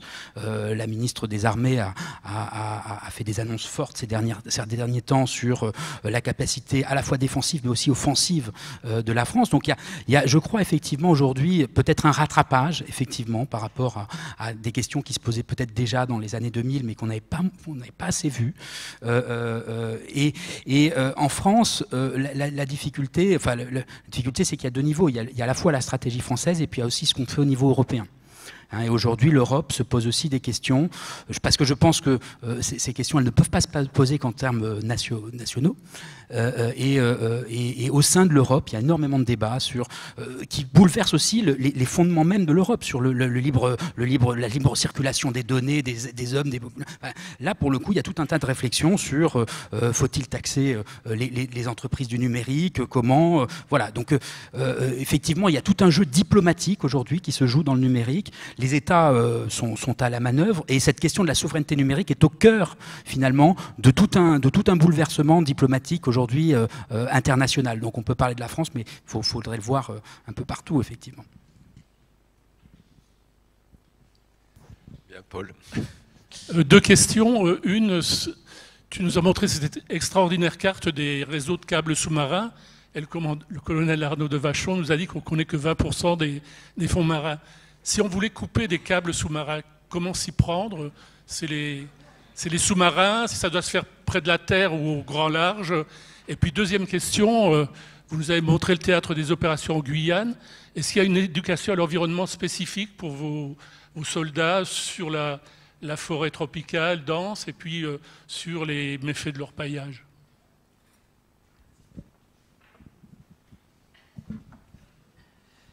Euh, Alors, sur, comment faire pour couper des câbles sous-marins, je ne suis pas un spécialiste de la découpe, donc euh, je ne saurais pas techniquement comment faire.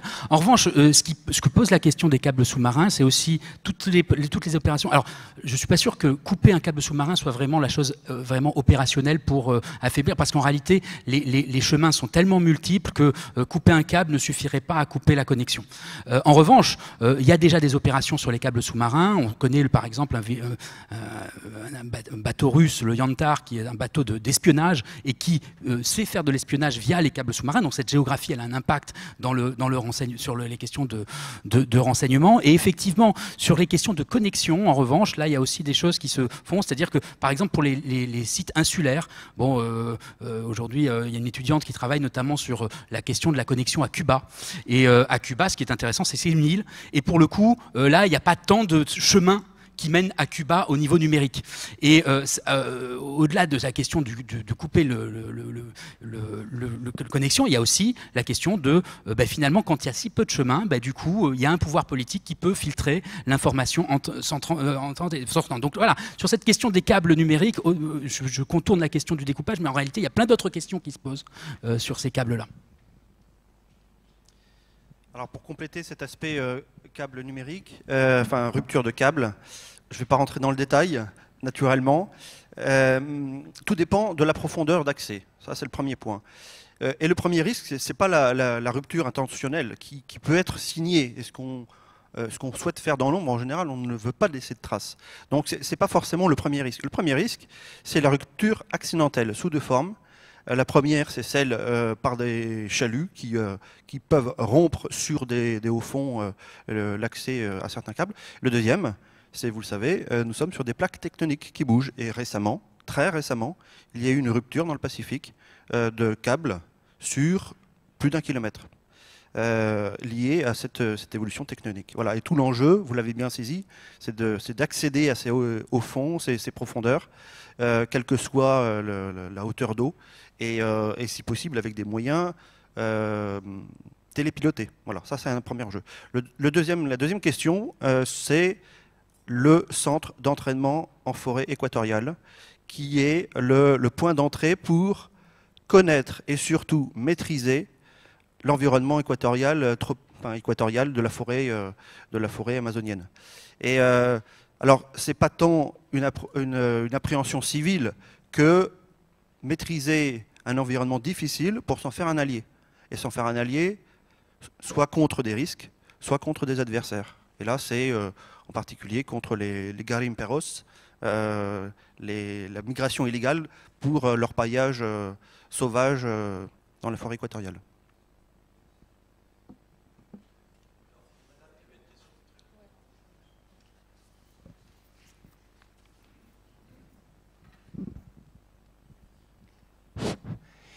Vous avez parlé, messieurs les militaires, de l'échec d'Arnheim.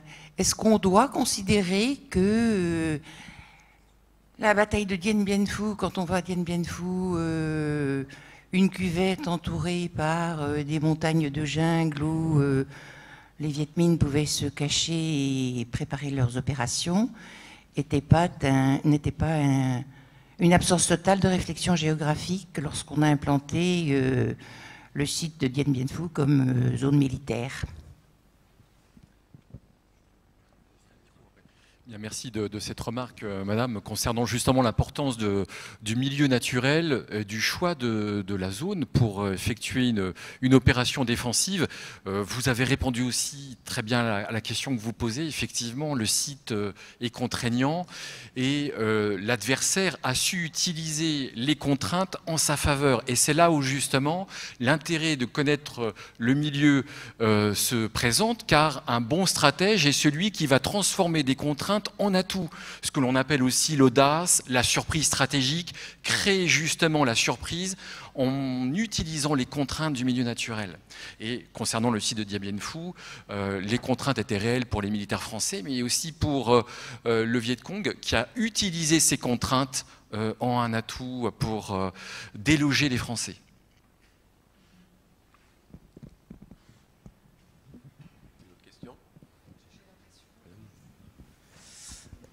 Madame, messieurs, ben, c'est pas mon colonel. Euh, pour vous, mon colonel, est-ce que vous pouvez nous parler brièvement du programme Scorpion, s'il vous plaît? Alors, je serai très bref, parce que nous sortons de la géographie. Euh, voilà, donc euh, si vous voulez, on pourrait en reparler en aparté, qui est une, la continuité de, de la première évolution, l'arrivée de la numérisation sur le champ de bataille, et qui est son intégration aujourd'hui avec un parc de matériel pour l'armée terre, parce qu'il s'agit d'un programme majeur pour l'armée terre, euh, de matériel renouvelé, intégré, connecté. voilà le principal enjeu autour de Scorpion. Euh, vous, trouverez facilement euh, sur, sur la presse, enfin sur la presse spécialisée, enfin les communications du ministère des Armées sur le sujet, ou, et je vous renvoie encore prochainement, au numéro de l'UGN sur la géographie militaire. Si, vous le permettez, je rajoute un mot. Votre remarque est très intéressante parce que ça montre bien justement euh, l'intégration de, la donnée géographique, géoréférencée, géolocalisée dans les nouveaux systèmes d'armes, Scorpion, Félin et bien d'autres. En fait, la donnée géographique, numérique, géolocalisée euh, est partout présente, hein, dans tous les milieux euh, physiques ou immatériels. Oui, bonjour, Gérard Dorel. je Chacun sait ici que euh, l'histoire ne se refait pas, mais qu'elle bégait. Et en la matière, il y a une question sur laquelle je me pose euh, une question, c'est le, renouveau et, le développement de tous les iridentismes hein, qui servent autant de prétexte parfois mais qui sont aussi culturellement extrêmement imprégnés, qui imprègnent euh, beaucoup de, comment, de, populations. On n'a jamais eu autant d'États, mais on n'a jamais eu autant de revendications irrédentistes. Alors la question que je me pose, euh, c'est celle euh, du travail qui est éventuellement mené, c'est la question que je pose aux universitaires sur cette sur ce plateau, où on en est, ou est-ce qu'on continue, ou on reprend des travaux euh, sur les irrédentismes et, euh, je dirais, leur potentialité de nuire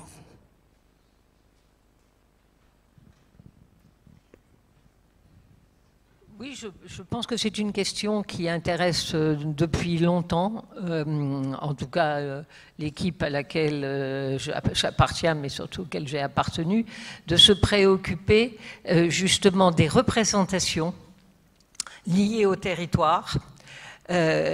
comme étant soit la représentation d'un territoire qui fut le berceau, je pense à la Serbie, Hein, et avec effectivement euh, euh, les monastères euh, considérés comme faisant partie intégrante de l'identité même de, la Serbie, ou, même le lieu d'une défaite qui devient un lieu emblématique, ce qui est quand même tout à fait étonnant hein, à l'époque de, de, Milosevic. Donc oui, on s'intéresse à comment les représentations de nouveau, j'allais dire manipulés, oui d'une certaine façon, mais qui, vont trouver un écho euh, comme étant faisant partie de la nation. On va prendre la Hongrie. La Hongrie avec un irrédentisme important, mais parce que effectivement, ce qui s'est passé après la Première Guerre mondiale, dans lequel d'ailleurs un fameux géographe français a joué un rôle hein, dans les frontières, euh, pour ne pas le citer, de Marton, a créé un traumatisme chez les Hongrois, avec un irrédentisme qui couve en, permanence. Euh, la fameuse grande carte rouge, qui est la carte de la population hongroise, mais vous la voyez partout en Hongrie, sur des sets de table, sur des autocollants de voitures, sur, moi je l'ai même vu euh, illustré dans une, vitrine de pharmacie. Euh, donc il y, a, vraiment un, rapport à, ce... Oui, je parle de traumatisme parce que perdre effectivement autant de territoires euh, et une grande partie de la population, c'est quelque chose qui ne s'efface pas donc, et qui se réveille. Et je dire, la, nouvelle victoire encore d'Orban, elle passe aussi euh, par, par cela. Euh, donc, mais on peut avoir aussi des irrédentismes qui se soient, euh, j'allais dire, un peu recréer d'une certaine façon. Si on pense aux sept provinces basques à cheval sur les Pyrénées, c'est une recréation de quelque chose qui euh, pourrait être un irrédentisme, comme quoi l'ensemble du peuple basque de ces sept provinces devrait euh, se constituer, alors qu'elles n'ont jamais existé en tant qu'État, et qu'on est sur quelque chose qui est alimenté euh, à des fins, bien évidemment, politiques. Donc, et dans nos pays comme les pays européens, où il y a eu tant de guerres, où il y a eu j'allais dire, d'affrontements, de déplacements de frontières, l'irrédentisme, vous pouvez euh, évidemment toujours le trouver. Et il y faut une grande sagesse, et une grande sagesse politique, pour admettre que là, maintenant, c'est fini, et qu'on arrête euh, de se battre. C'est, je crois, la grande décision de la réunification de l'Allemagne qui a dit eh bien, on s'arrête là. C'est Odernice, et pas question euh, d'aller récupérer d'autres territoires peuplés d'Allemands. Euh, mais euh, on était dans un État devenu démocratique qui se souvait d'une histoire tragique. Donc l'irrédentisme, à mon avis, c'est pas fini parce que c'est un excellent moyen de maintenir une fibre patriotique et nationale qui peut devenir dangereuse. Merci. Juste très rapidement, euh, les questions de l'irrédentisme, c'est compliqué de parler de ça de manière générale, alors que chaque cas est en fait particulier. Mais dans un autre temps, moi, j'ai travaillé sur le, nationalisme monténégrin. Et euh, il se trouve que le Monténégro a pris son indépendance depuis. Et, euh, là aussi, il y a à la fois tout un, tout un, toute une, dimension identitaire, nationale, qui se joue sur des symboles culturels, quelquefois des choses qui ont été mis de côté par le l'État politique. Euh, euh, donc à l'époque, c'était euh, la Yougoslavie, mais Yougoslavie limitée à Serbie-Monténégro. Hein, c'était cette relation-là où il y avait une relation complexe entre cette identité monténégrine qui était existait de fait, où c'était construite, et puis un, État qui considérait, on pourrait faire des rapprochements aujourd'hui actuels, que les Monténégrins étaient tous des Serbes donc il y, a cette, il y a une histoire de reconnaissance qui se joue, mais pas que, parce qu'en réalité, la Yougoslavie, c'était aussi des disparités économiques gigantesques qui étaient aussi un peu mis sous le tapis, même si la Yougoslavie faisait de la, redistribution, mais il y avait, euh, euh, si vous prenez la Bosnie ou le Kosovo, c'était euh, un, niveau de vie 20 fois inférieur à la Slovénie ou la Croatie. Donc en réalité, ce qui se joue derrière la question nationale, c'est pas simplement du national, c'est pas simplement du symbolique ou du culturel, c'est des rapports, c'est des inégalités territoriales que les géographes savent bien analyser. Euh, c'est des inégalités, c'est des rapports de force économiques, c'est euh, euh, tout ça qui se joue et qui aujourd'hui, je crois, il y, a quand même la question de fond sur ce renouveau des, identités nationales irrédentes, etc. C'est aussi l'accroissement des inégalités, c'est aussi la, reconnaissance de ces rapports de force. Donc je crois que, voilà, il faut, derrière votre question qui disait bah, finalement pourquoi les irrédentistes nous embêtent, bah, je crois aussi qu'il y a des discussions à avoir sur qu'est-ce qui se joue dans ces discours, dans discours nationaux. Voilà. donc on se retrouve dans On enchaîne. Bon. voilà. Donc euh, euh, les trois intervenants suivants, euh, Anna, Paul et Gérard François Dumont.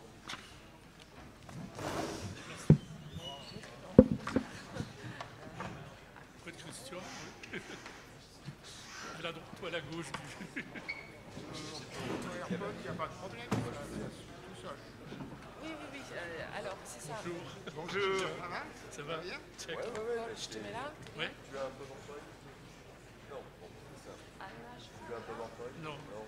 J'ai. Voilà. Ouais. Pas un cours, cours, cours. Et donc, c'est juste par la télécommande. D'accord, pas la télécommande. Toi, Paul, t'as rien as pas de... Non, je regrettais de ne pas avoir mis mon schéma de système. Ah, oui, ouais. Il est dans le livre.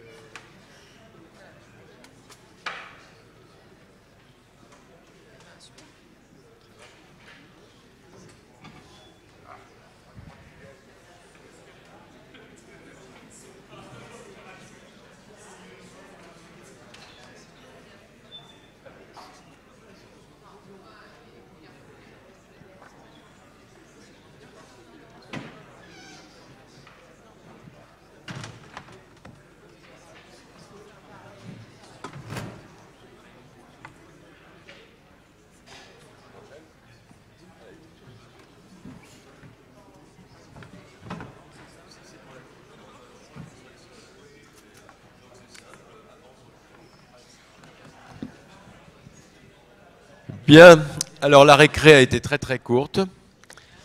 Donc euh, on va immédiatement enchaîner pour, euh, de ce fait, on a euh, quasiment rattrapé le décalage. et si vous voulez qu'il nous reste quelques minutes de débat, aux environs de midi, effectivement, on va continuer à respecter un timing très rigoureux. Je passe donc tout de suite la parole à Anna Geppert, qui est professeure à Sorbonne Université, mais que j'ai connue toute petite à l'université de Reims. voilà donc, euh, qui est spécialiste d'urbanisme. Et donc, tu vas nous dire que, euh, si j'ai bien, si bien lu, une maison, c'est de l'architecture, deux maisons, c'est de l'urbanisme, trois maisons, c'est de la géographie, c'est ça, et quatre maisons, c'est de la géopolitique, je ne sais plus. Voilà. Bon, alors cinq maisons, donc.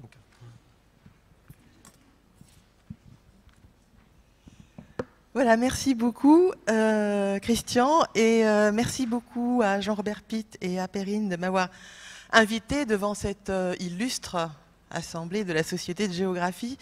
Euh, je voulais simplement dire que j'en suis d'autant plus triste, navrée de ne pouvoir rester qu'une demi-journée euh, ce matin pour des raisons qui sont en fait familiales. J'aurais vraiment eu, grand plaisir à pouvoir participer à, ces débats de, très très belle tenue.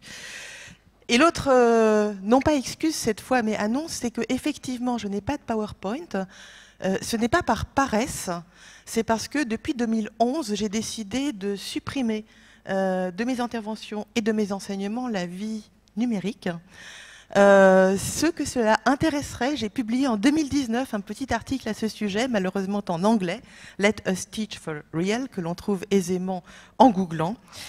Et euh, je ne sais pas s'il est possible de suspendre l'éclairage derrière ce serait une belle, ça nous donnerait une bonne image, mais sinon, euh, c'est sans importance. Donc voilà. Euh, la question, la question qui m'a été posée finalement, la géographie est-elle une pierre angulaire de l'urbanisme? Eh bien, c'est une question qui a traversé un petit peu mon parcours depuis que toute petite, je me sens jeune, Christian, quand je parle devant toi. Depuis que toute petite, effectivement, je suis entrée dans l'urbanisme aménagement euh, dans les universités françaises où nous avons connu ce compagnonnage euh, motivant, pas toujours simple d'ailleurs, entre les deux disciplines. Aujourd'hui, lorsque je parle à mes étudiants, les choses paraissent extrêmement simples. Je leur dis, vous savez, la géographie, c'est une science. L'urbanisme, lui, est une pratique, une action. Et donc, évidemment, l'urbanisme a besoin de géographie parce qu'il faut informer toute action, sinon on fait de mauvaises actions. Et puis l'urbanisme et l'aménagement ne sauraient bien entendu se réduire à la géographie puisqu'il y a tous ces outils nécessaires pour agir. Et les étudiants me regardent et trouvent ça tout à fait naturel. Alors tout au long de, ma carrière, en fait, parce que la, réalité n'a pas été ainsi, la réalité a évolué, euh, eh bien j'ai été témoin, et c'est ce dont j'ai essayé de rendre compte un petit peu euh, dans mon article, de ces relations parfois euh, difficiles, même parfois tendues d'ailleurs, entre les différentes disciplines. Alors effectivement, nous avons, nous les urbanistes, deux grandes disciplines qui, parmi lesquelles nous nous rangeons. L'une d'entre elles, c'est la géographie, et l'autre, c'est l'architecture. Les architectes sont aussi de grands partenaires, mais de grands ennemis, euh, dans la mesure où ils risquent de nous prendre notre place. Pour finir cette introduction, euh, eh bien, je me souviens de Pierre Merlin qui, dans les 30 ans de l'IATEUR, euh, l'Institut d'urbanisme et d'aménagement de l'Université de Reims, avait fait une discussion un petit peu flamboyante en montrant comment les autres disciplines, à savoir la géographie, l'architecture et l'ingénierie, essayaient d'étendre leur hégémonie sur nous, les pauvres urbanistes qui avions du mal à nous affranchir. En rédigeant le petit chapitre qui m'avait été proposé, euh, j'ai découvert que nous autres, urbanistes, euh, avions également nos stratégies et que nous avions souvent convoqué la géographie un petit peu comme alliés contre les architectes. Dans d'autres pays, d'ailleurs, c'est le contraire, pour essayer de nous faire cette euh, place au soleil. Alors pour aller un petit peu plus loin, comme cela nous a été euh, demandé, euh, eh bien, je vous propose deux petits moments de discussion. Un premier temps, ce sera simplement pour dire que en Europe, l'urbanisme aménagement n'est pas toujours aussi près de la, géographie qu'il l'est en France, que les modèles, nous avons trois grands modèles qui se côtoient. Et puis un deuxième temps, eh bien, pour aller un petit peu plus loin en disant que si nous avons besoin de la géographie, ben, la question c'est quelle géographie? Elle est bien multiple et bien variée, cette géographie. Alors, d'abord, effectivement, euh, de la diversité des relations entre les urbanistes et les géographes en Europe. Alors j'ai été très impliquée dans l'association des euh, écoles d'urbanisme, enfin des instituts d'urbanisme européens, ESOP, j'en ai été secrétaire général, j'en ai été président, donc pendant 8-9 ans, j'ai passé mon temps en fait à voyager un petit peu partout. Et euh, en réalité, ben, finalement, j'en tire la conclusion qu'il y a trois grands modèles. Il y a notre modèle français où eh bien, les instituts universitaires d'urbanisme et d'aménagement ont grandi en très grande proximité avec la géographie. C'était le cas à Reims, c'est le cas à Sorbonne Université. Et d'ailleurs, ce modèle proche des géographes, nous le trouvons également de l'autre côté de la Manche, au Royaume-Uni. C'est un, modèle qui a apporté énormément de choses à l'urbanisme et aménagement et en particulier peut-être la réponse à cette critique de mon collègue architecte Klaus Mundmann avec les fameux architectes qui disaient oui, vous savez, parce que pour les architectes, construire une maison, c'est de l'architecture, construire deux maisons, c'est de l'urbanisme, trois maisons, c'est de l'aménagement régional, et quatre maisons, c'est de l'aménagement de l'espace européen. Donc effectivement, la géographie, qu'est-ce qu'elle apporte avant tout? Elle apporte une compréhension des territoires, des échelles. Attention, avant de crier cocorico, je remarquerai que dans, par exemple, le concours du Grand Paris, hein, il y a dix ans, maintenant un peu plus, on a voulu beaucoup faire venir des géographes, mais les équipes lauréates étaient toutes pilotées par des architectes urbanistes.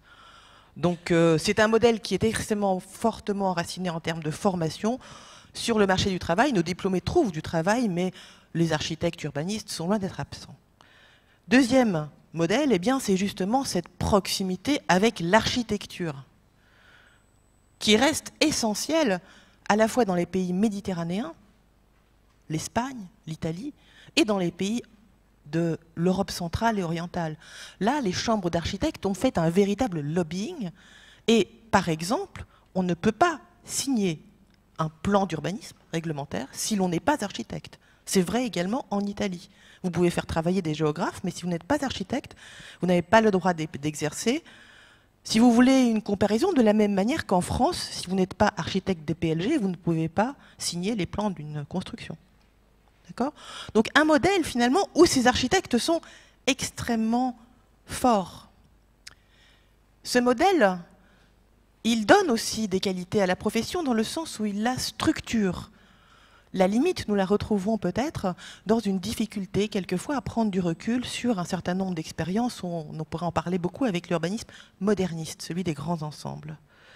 Et puis troisième modèle que nous trouvons en Allemagne, euh, que nous trouvons aux Pays-Bas, un petit peu dans les pays scandinaves, c'est celui où l'urbanisme est devenu une sorte de spécificité orientée plutôt sur l'ingénierie civile. Et ce qui est intéressant là, c'est que, à la différence des deux autres euh, grand modèle, eh bien, nous avons des étudiants qui sont formés comme urbanistes depuis le début. Et là, en réalité, eh bien, on demande à des géographes de leur faire de la géographie, etc. Mais on commence à spécifier une filière depuis euh, la première année. Voilà un petit peu euh, trois grands modèles. Moi, ce que j'en retiens aujourd'hui, c'est que, quels que soient ces modèles, ce que j'ai pu connaître comme tourment, par exemple, lorsque j'étais secrétaire général des OP, où on me demandait des attestations comme quoi le discipline existait pratiquement dans certains pays, eh bien, nous sommes arrivés à une certaine forme de maturité et que dans cette interdisciplinarité qui est caractéristique de l'urbanisme aménagement, eh bien, la géographie est bien souvent présente. Et paradoxalement, mieux l'urbanisme est en quelque sorte installé et plus la géographie est sollicitée.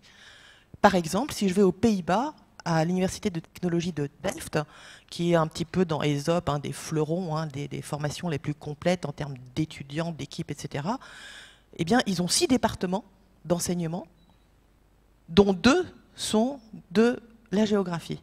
Il y en a un plus technique et SIG, et puis un autre euh, qui sont des études euh, urban studies, si vous voulez, à l'anglaise.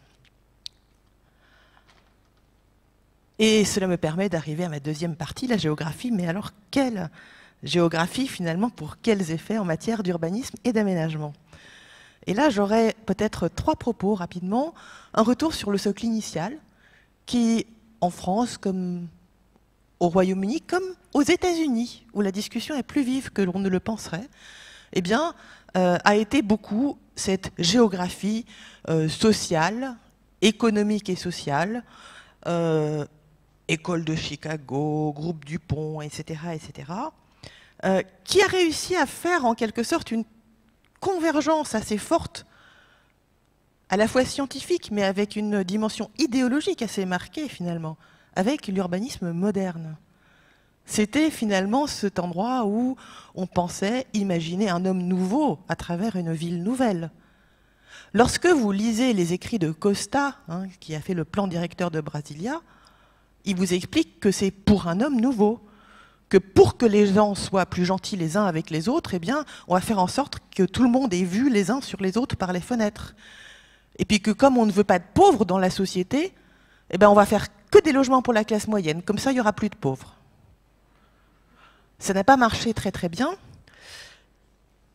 Et finalement, autant l'histoire, celle-là, nous la connaissons et nous, nous en sommes un petit peu éloignés, autant une question qui, à mon avis, reste posée, eh bien, c'est la relation entre le modèle et le territoire. Et c'est là, Christian, que vient le souvenir de monsieur le professeur que nous avions invité à l'IATEUR donc, euh, pour venir nous parler à nos étudiants des modèles et des représentations cartographiques modélisées. Et donc Christian avait dit aux étudiants quelque chose d'extrêmement juste qui réconciliait finalement la généralité et la singularité.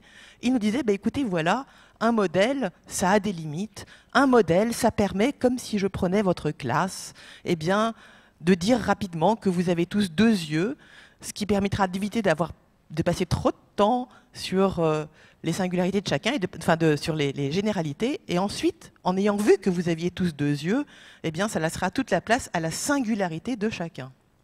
Eh bien, je ne sais pas comment ça se passe du côté des géographes, mais en urbanisme, j'ai le sentiment que nous avons un petit peu trop saisi les modèles pour leur puissance représentative, pour leur puissance évocatrice, au risque eh bien, de laisser un peu de côté la singularité. Il n'est que de voir un Scott, un schéma d'aménagement un petit peu régional, pour voir à quel point nous avons été friands de cette vision modélisée, mais au risque d'arriver à des choses un petit peu abstraites et finalement d'oublier un petit peu les racines, les singularités des lieux qui, malgré tout, existent. Un deuxième euh, élément de débat euh, dans notre relation à cette euh, géographie humaine et sociale, c'est le poids que nous avons accordé à la métropolisation et aux métropoles. Là encore, alors je saluerai peut-être euh, Population et Avenir de, Gérard François Dumont, qui de manière constante, un petit peu tranquille, remet toujours euh, au goût du jour les villes moyennes, les territoires ruraux. Mais il est vrai que, je ne sais pas la géographie, mais chez nous, les urbanistes, nous avons effectivement, je pense, euh, était euh, très très grande ville. D'ailleurs, ça va ensemble avec le modernisme, hein, le, modular qu'on répète à l'infini. Et nous avons bien trop oublié à la fois la singularité des espaces, mais aussi l'importance euh, de ce maillage essentiel du territoire que sont les villes petites et moyennes. Deuxième point d'interrogation, l'environnement.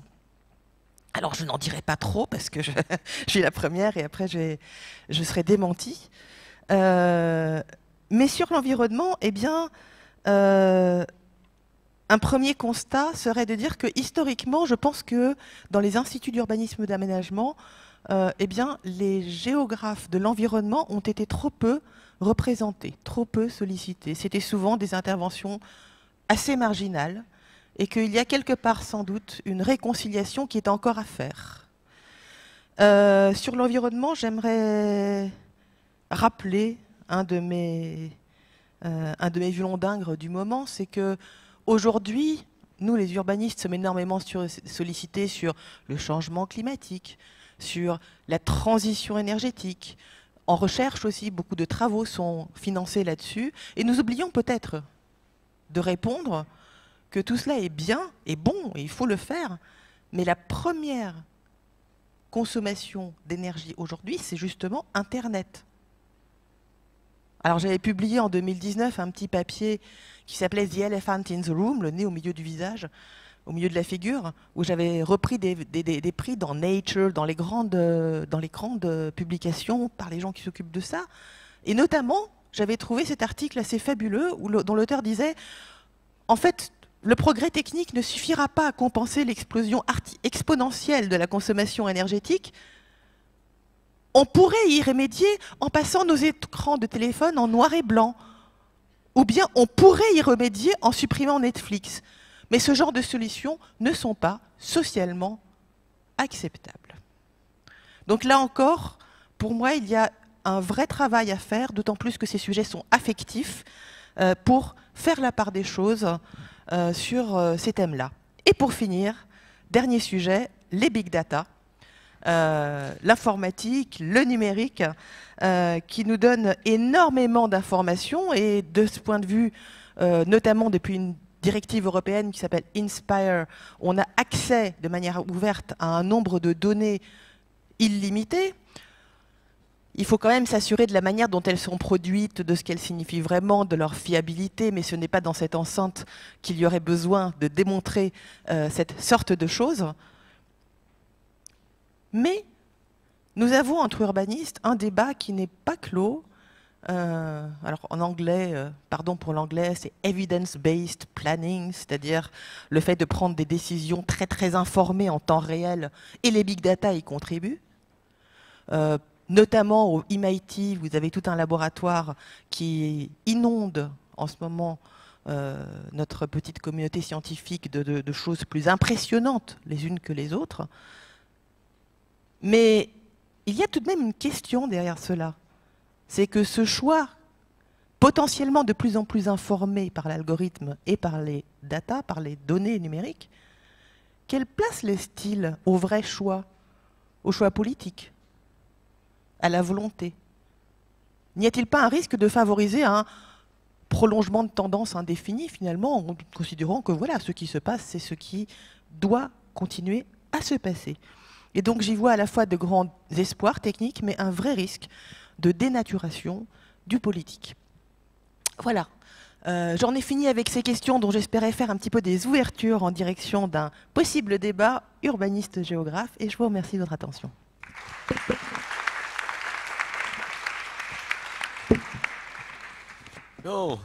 Merci Anna Geppert.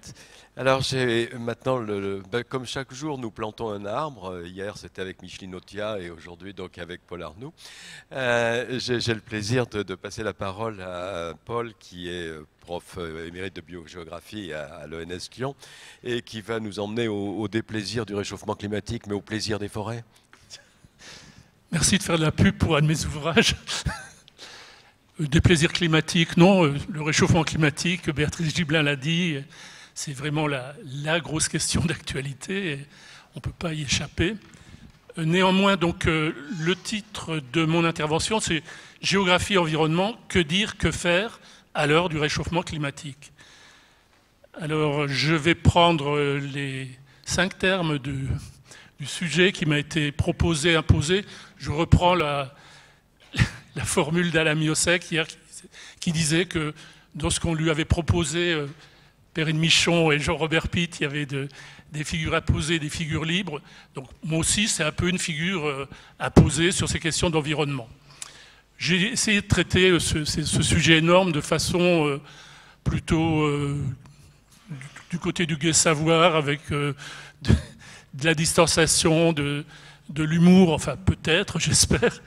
Et tout d'abord, pour le terme géographie, de quand date la géographie Vaste question. On nous dit toujours, il ne faut pas dire que ça remonte à la nuit des temps. Ça remonte à un certain nombre de personnes qui sont là dans les pastilles euh, autour de l'amphithéâtre. Vous ne les voyez pas, mais avec Christian, on a sous les Érastosthène, sans doute, qui a proposé le terme pour la première fois. Il y a Hérodote, qui était historien mais géographe, Yves Lacoste s'en expliqué de ce choix qui était tout à fait judicieux. Il y a Strabon, il y a Ptolémée, on a les grands noms de la, géographie de, de l'Antiquité. Donc la géographie, science multimillénaire, s'il en est. Euh, la société de géographie, euh, là on sait où on est, euh, on a une date carrée, ça a 200 ans, on est là pour célébrer cet anniversaire. Il y a eu d'autres institutions géographiques aussi, mais qui n'ont pas la même durée. Il y a le Comité national de géographie que préside Amael Katarouza, qui a seulement 100 ans, et puis il y a l'Association de géographes français, il y a une foule d'institutions certaines nées au début du XXe siècle, où la géographie euh, se situe sur le plan institutionnel. Donc la géographie, euh, soit des milliers d'années, soit quelques dates plus récentes au, XIXe et au XXe siècle. L'environnement, euh, là aussi, j'avais proposé trois dates pour l'environnement. De quand date l'environnement Ça date de 50 ans, ça date de la création du ministère de l'Environnement, et puis de l'année internationale de l'environnement, puis de la montée des préoccupations environnementales. J'ai bien conscience que c'est ridicule de mettre les questions environnementales et leur émergence il y a 50 ans. Du coup, j'ai proposé aussi la date de la naissance de Lucie et des environnements de savane et de forêt décrits par Yves Coppaz, qui était l'environnement des premiers sapiens qui se redressaient et qui commençaient sans doute à, penser un peu. À moins que ce soit l'homme de Toumaï, qui, est plus vieux que Lucie, ou bien est-ce que ça peut être le Big Bang? On peut mettre la naissance de l'environnement il y a 13 milliards d'années, euh, quand euh, se, mettent en place l'atmosphère, l'hydrosphère et la, minéralosphère. Donc euh, là aussi, sur l'environnement, ce, jeu des, dates de naissance, des, moments de création, c'est toujours un peu futile, mais ça permet aussi de donner de l'épaisseur à, la question. donc géographie, environnement, deux, entités euh, qui va s'agir de, comparer. Avant cela, je voudrais dire aussi que le ministère de l'Environnement a été créé en 1970-71. Le premier titulaire en a été Pierre Poujade, un universitaire. Robert Poujade, oui. Là, c'est vous la, la, gaffe. Robert Poujade, un universitaire qui, était maire de Dijon et qui euh, a raconté l'histoire de la création de ce ministère dans un, ouvrage très plaisant qui s'appelle Le ministère de l'impossible, qui raconte comment il a constitué son ministère euh, contre vents et marées, en faisant face à beaucoup de, de résistance. Moi, ce qui me passionne, enfin, pas passionne, oui, me passionne et qui m'étonne, c'est que le ministère, il ne sait pas avoir un nom. C'est le ministère de l'innommable. C'est le ministère de l'impossible au début, mais de l'innommable, il a changé au moins 10 ou 12 fois de nom. Il s'est appelé ministère de la. Enfin, récemment, Transition écologique et solidaire. Le solidaire a disparu euh, récemment. Il a été ministère de la protection de l'environnement, du cadre de vie, de la qualité de la vie. Ministère, il a été couplé avec la culture, les transports, l'aménagement du territoire, l'énergie, le développement durable. Il a tenté un moment ministère de l'écologie. On voit, il, n'y a, pas de terme fixe pour parler de cette question. J'aimerais bien que quelqu'un fasse l'histoire de ces appellations successives qui reflètent sans doute des choses plus profondes du point de vue du sens, des enjeux de pouvoir et des rapports avec l'aménagement ou avec d'autres ministères euh, comme ceux de l'agriculture ou de, l'énergie. Donc euh, on a euh, un ministère qui peut mettre une, date de création où les questions environnementales deviennent très prégnantes, deviennent très fortes. Et c'est un des thèmes qui m'a amusé d'envisager. le sous-titre de cette question géographie-environnement, c'était euh, le que dire, que faire à l'heure du réchauffement climatique. Alors ça m'a un peu énervé, je me suis dit, euh, ah ça y est, on est encore dans les phénomènes de mode, euh, on ne peut pas éviter le réchauffement climatique. Pour avoir écrit sur les, phénomènes de mode, qui était un phénomène réel et préoccupant des, pluies acides, ou pour avoir le souvenir de la question de la couche du trou d'ozone, qui, qui faisait la, une de l'actualité environnementale, ou bien d'autres questions aussi, euh, comme celle de bilan carbone, de l'effet de serre. Et à certains moments, il y a des questions mondialisées qui deviennent complètement euh, prégnante et qui efface tout le reste, qui phagocyte le reste. Je, trouvais ça un peu gênant de réduire ça au prisme du réchauffement climatique. Puis je me suis dit, c'est vrai que c'est une question d'actualité euh, incontournable, qui peut, euh, qui a des aspects déjà dramatiques, et qui peut aller, on peut aller vers du, le pire, du pire. Et donc je me suis dit, c'est bien parce que ça permet de faire aussi de la, géographie de, des discours, de la façon de parler de, l'environnement, et puis de la géographie de l'action, euh, cette fameuse géographie active ou géographie appliquée chère à Flippono et aussi à Pierre Georges, qui euh, reste quelque chose d'actualité. Comment, euh, à quoi sert la géographie? Comment euh, peut-elle féconder les gestionnaires? À quoi peut-elle servir pour les, militaires? Donc finalement, après avoir eu une réserve, on va dire ah, c'est opportuniste ce sous-titre, c'est séducteur et réducteur et racoleur, je me suis dit non, ça a du sens. merci donc à Perrine et, à Jean-Robert de, me l'avoir proposé. Et puis j'ai pris comme euh, fil conducteur de mon petit exposé, euh, c'est le fait que déjà il y a 30 ans, lors d'une séance de l'Association française de géographie physique, une éphémère association qui s'était montée pour défendre la géographie physique menacée, après, après qu'elle ait été hégémonique, on l'a évoqué euh, hier, j'avais communiqué sur biogéographie et environnement. Donc c'était déjà une figure imposée il y a longtemps. Et à l'époque, euh, je, m'étais dit, pourquoi la, biogéographie et l'environnement Ça a été un rendez-vous raté. Et donc euh, hier, euh, Christian Gratalou a brodé sur le thème du couple. Moi, je vais broder sur le thème du rendez-vous. Avant le couple. À propos de ce couple. Tout d'abord, j'évoque un, rendez-vous réussi.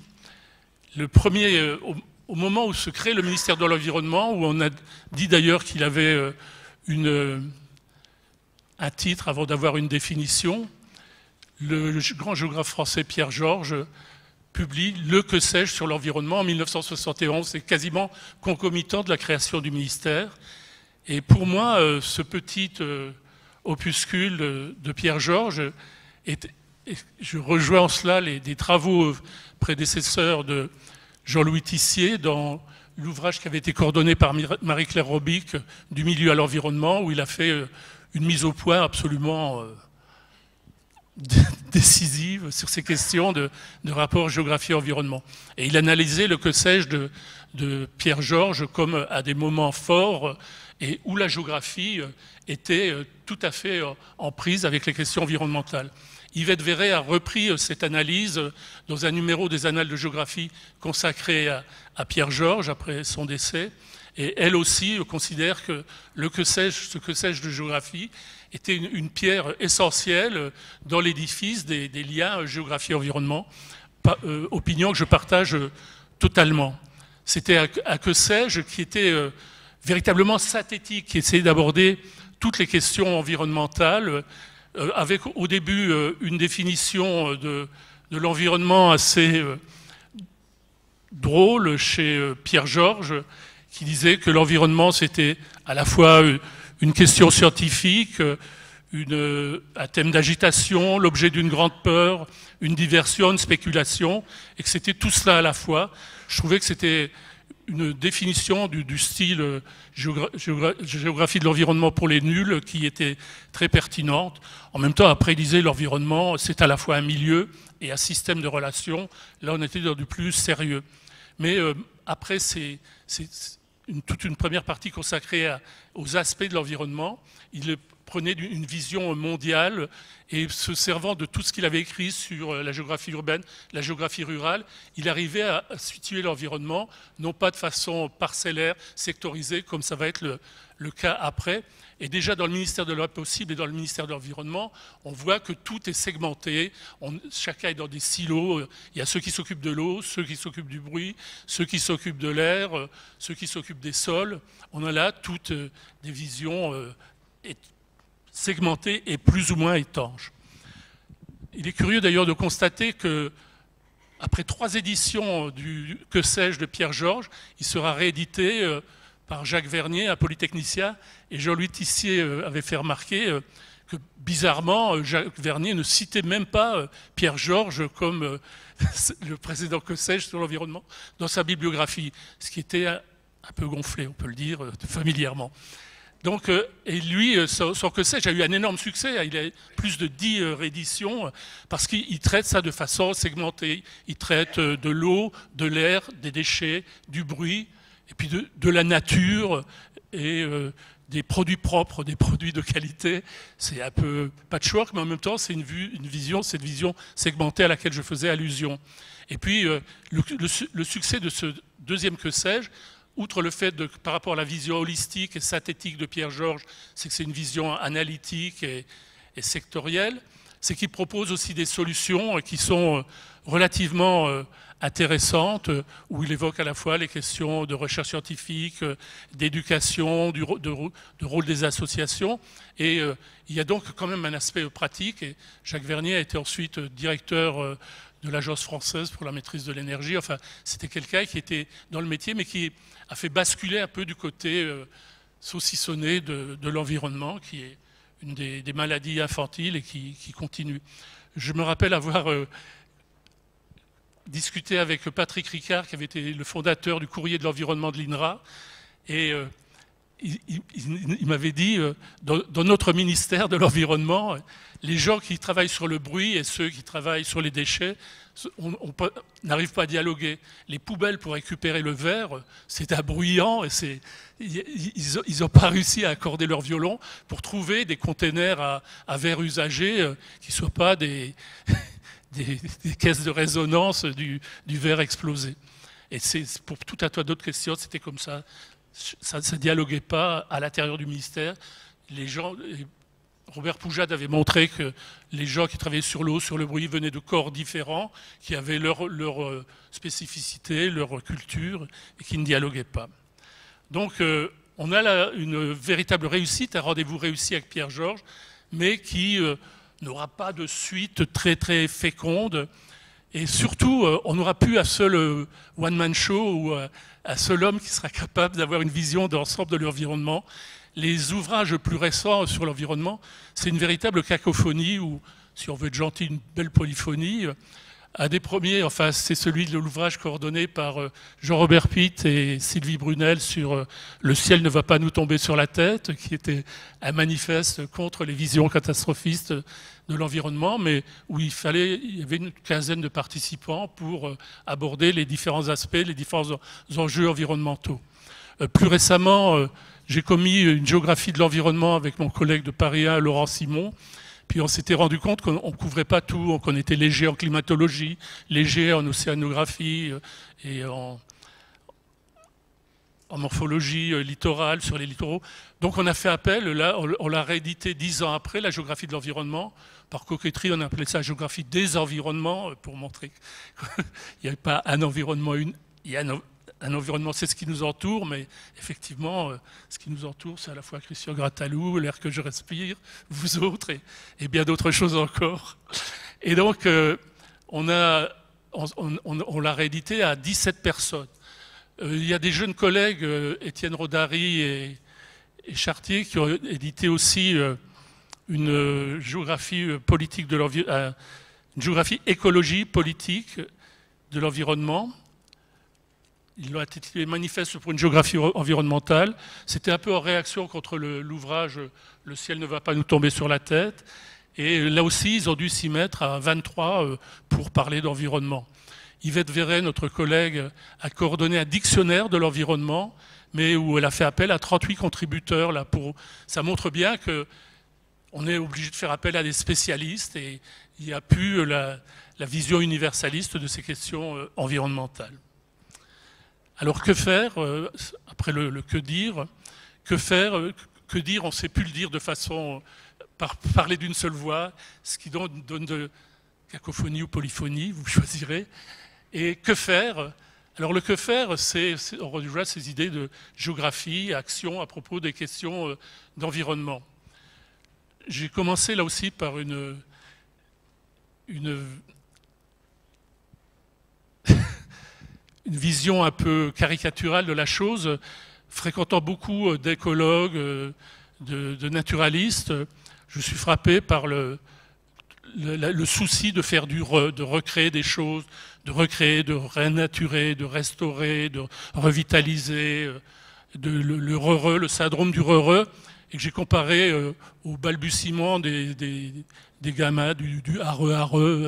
On, est là dans, l'âge primitif euh, des questions, avec véritablement la, la, maladie infantile, un peu de ces questions environnementales, où on a la prétention, où on pense qu'on peut résoudre les questions en refaisant un milieu mais à milieu de quelle époque? Je, me rappelle que pour euh, le Jura, euh, est-ce qu'il faut recréer les paysages de Courbet euh, à Fontainebleau Est-ce qu'il faut recréer les paysages des peintres de Barbizon Le recréer, le renaturer, on doit toujours avoir une référence temporelle et spatiale, et c'est jamais la même pour les uns et pour les autres. On n'arrive pas à satisfaire tout le monde. Plus recréer, renaturer, restaurer, on joue aux apprentis sorciers. Hein recréer des, dunes littorales fixées. On avait une graminée bien de chez nous, les zoyax, qui marchent du feu de Dieu.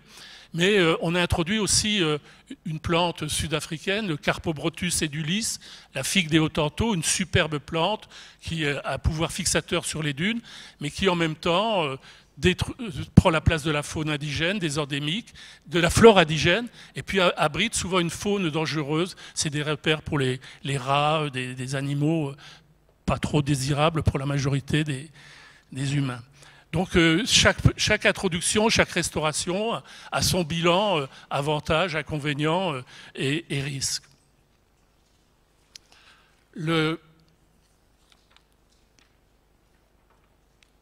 Il est facile souvent d'intervenir euh, sur le minéral, sur le vivant, c'est hyper risqué et on aboutit souvent à des catastrophes écologiques. Les lapins, la myxomatose en Australie, et l'introduction de, la, myxomatose pour contrer l'introduction des lapins, les, problèmes euh, sur les littoraux que je viens d'évoquer. Euh, et on a là souvent, à cause de l'effroyable complexité du vivant, si intervenir sur le, Merci Christian. Sur le minéral, c'est relativement facile. Sur le vivant, euh, on est beaucoup moins euh, à même de le faire. Et avec chaque fois le problème de quelle échelle on intervient, localement ou bien euh, globalement. Qu'est-ce que ça veut dire intervenir globalement Poser le problème des interactions à l'échelle mondiale? Donc pour résoudre tout ça, il faut avoir une vision systémique, se rendre compte que l'environnement, c'est la croisée d'une foule de systèmes politiques, économiques, sociaux, euh, écologiques, euh, psychologiques. Il y, a, des peurs, des mythes, du sacré. Et donc, pour tenir les, la, uni tout ce, faisceau euh, extrêmement complexe de facteurs environnementaux, la géographie peut aider à y voir plus clair, à proposer parfois des solutions, mais en mettant chaque fois des bémols. C'est euh, le but, c'est de rendre notre planète plus vivable, plus durable, plus désirable, faire que ça, donne envie de faire de l'environnement, qu'on s'engage dans des cercles vertueux. Vaste programme, comme aurait dit euh, je ne sais plus qui. Merci.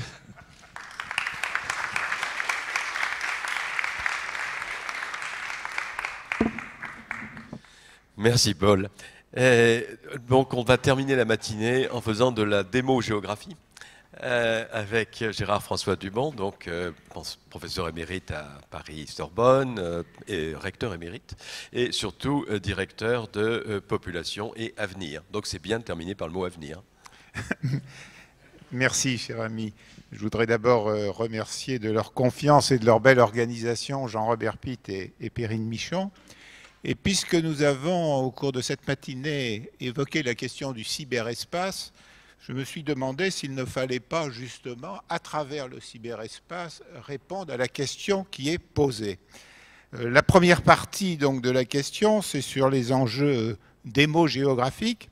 Lorsque nous allons sur le moteur de recherche dominant dans ce monde, c'est-à-dire Google, et que nous essayons de voir le nombre d'occurrences de la discipline qui s'appelle géographie de la population, donc de cette branche de la géographie, nous trouvons, à la date d'hier, 1 million 40 000 occurrences environ.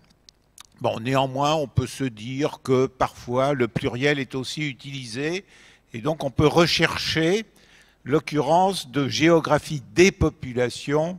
Et à ce moment-là, on ne trouve que 104 000 occurrences. Donc vous voyez que l'addition des deux fait un peu plus d'un million. En revanche, si je m'intéresse à la seconde partie du titre qui m'a été proposé, c'est-à-dire en fait la question de la population mondiale, là je trouve 4 850 000 occurrences. Euh, donc un nombre beaucoup plus élevé. Et lorsque j'essaie de trouver quel est l'enjeu dominant euh, sur Google en matière de population mondiale, eh bien clairement c'est le mot surpopulation qui arrive avec 2 euh, millions 430 000 occurrences. Donc vous voyez deux fois plus d'occurrences que la discipline de géographie euh, de la population.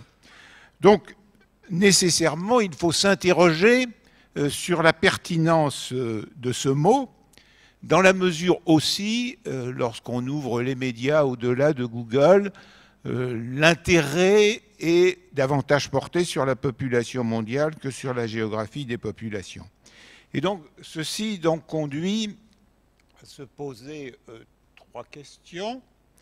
Euh, première question, euh, que penser du peuplement de la planète? Deuxième question, un peuplement identique signifie-t-il des enjeux identiques? Et les enjeux démogéographiques sont-ils globaux ou locaux? Concernant la première question, je vais simplement vous rappeler cette carte qui représente la qualité pas extraordinaire, la densité de population dans, le monde. Et pour simplifier, je la résumerai en disant que dans le monde, nous avons des pleins et des vides. Hein. la fameuse formule qui avait été surtout appliquée à la Chine, entre la Chine, la moitié sud-ouest de la Chine qui est considérée comme pleine parce que d'une densité élevée, et euh, la moitié nord-est qui est considérée comme vide parce qu'une densité faible. Mais cette notion peut s'appliquer à tous les pays, et par exemple à la France, entre le département de Paris avec plus de 20 000 habitants au kilomètre carré et euh, la Lozère euh, à environ 15 habitants au kilomètre carré. Or, la question qui se pose, c'est évidemment de savoir euh, s'il y a une corrélation entre la densité de population des différents pays et leur niveau de vie, leur niveau de richesse. Euh, donc on peut considérer, par exemple, que les pays qui ont plus de 400 habitants au kilomètre carré, donc en gros plus de 4 fois euh, supérieurs à la, densité de la France métropolitaine, sont des pays relativement pleins.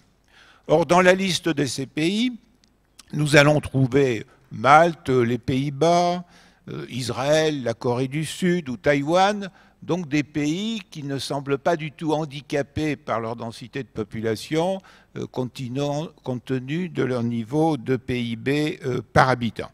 En revanche, c'est vrai qu'il y a des pays qui ont aussi plus de 400 habitants par kilomètre carré et dont le niveau de richesse est relativement bas, voire très faible. Je pense au Burundi ou à Haïti. Mais on sait très bien que les raisons ne sont pas liées à l'importance de leur peuplement, mais beaucoup plus à des mauvaises gouvernances qui perdurent malheureusement euh, au fil des décennies. Si maintenant nous allons dans les vides, nous allons trouver beaucoup de pays qui ont moins de 20 habitants au kilomètre carré, donc des pays très peu peuplés, le Canada, l'Islande, le Botswana, le Gabon, la Bolivie, la Nouvelle-Calédonie ou l'Argentine. Et euh, dans ces vides, ben, nous allons trouver des pays très développés, donc qui ne sont pas handicapés par la faiblesse de leur peuplement. Je pense à la Nouvelle-Zélande, à la Finlande ou à la Norvège. Et d'autres, au contraire, qui sont particulièrement sous-développés. Je pense au Suriname. Euh, mon colonel, vous connaissez très bien la situation avec euh, évidemment euh, la question du pays voisin qui est notre département d'outre-mer, euh, la République centrafricaine ou le Tchad. Bref, le résultat de tout ceci, c'est qu'il est souvent considéré que la population mondiale, parce qu'on additionne la population de ces différents pays, euh, se traduit par un chiffre qui est considéré comme excessif, d'où cette terminologie de surpopulation, euh, à peu près 8 milliards aujourd'hui, euh, des hypothèses moyennes qui nous conduisent vers les 10 milliards d'ici 2 à 3 décennies. Et tout ceci, pourtant, représente en moyenne une densité de population faible, puisque la densité de population moyenne des surfaces de l'écoumène, comme on dit en géographie, est nettement inférieure à la densité de population de la France métropolitaine, qui est, vous le savez, une des densités les plus faibles euh, des pays euh, de l'Union euh, européenne. Si nous nous prolongeons dans cette hypothèse moyenne vers les 9 ou 10 milliards, eh bien, ça porterait la densité de la population dans le monde à environ 75 habitants par kilomètre carré, là aussi un chiffre encore inférieur à celui de la France métropolitaine. Alors, bien entendu, nous pourrions aussi ne considérer que les terres arables, mais nous arriverions à des raisonnements assez semblables, d'autant plus que, comme vous le savez, la notion de terre arable est une notion variable, euh, puisque la superficie des terres arables peut varier en fonction des aménagements réalisés ou des méthodes culturelles.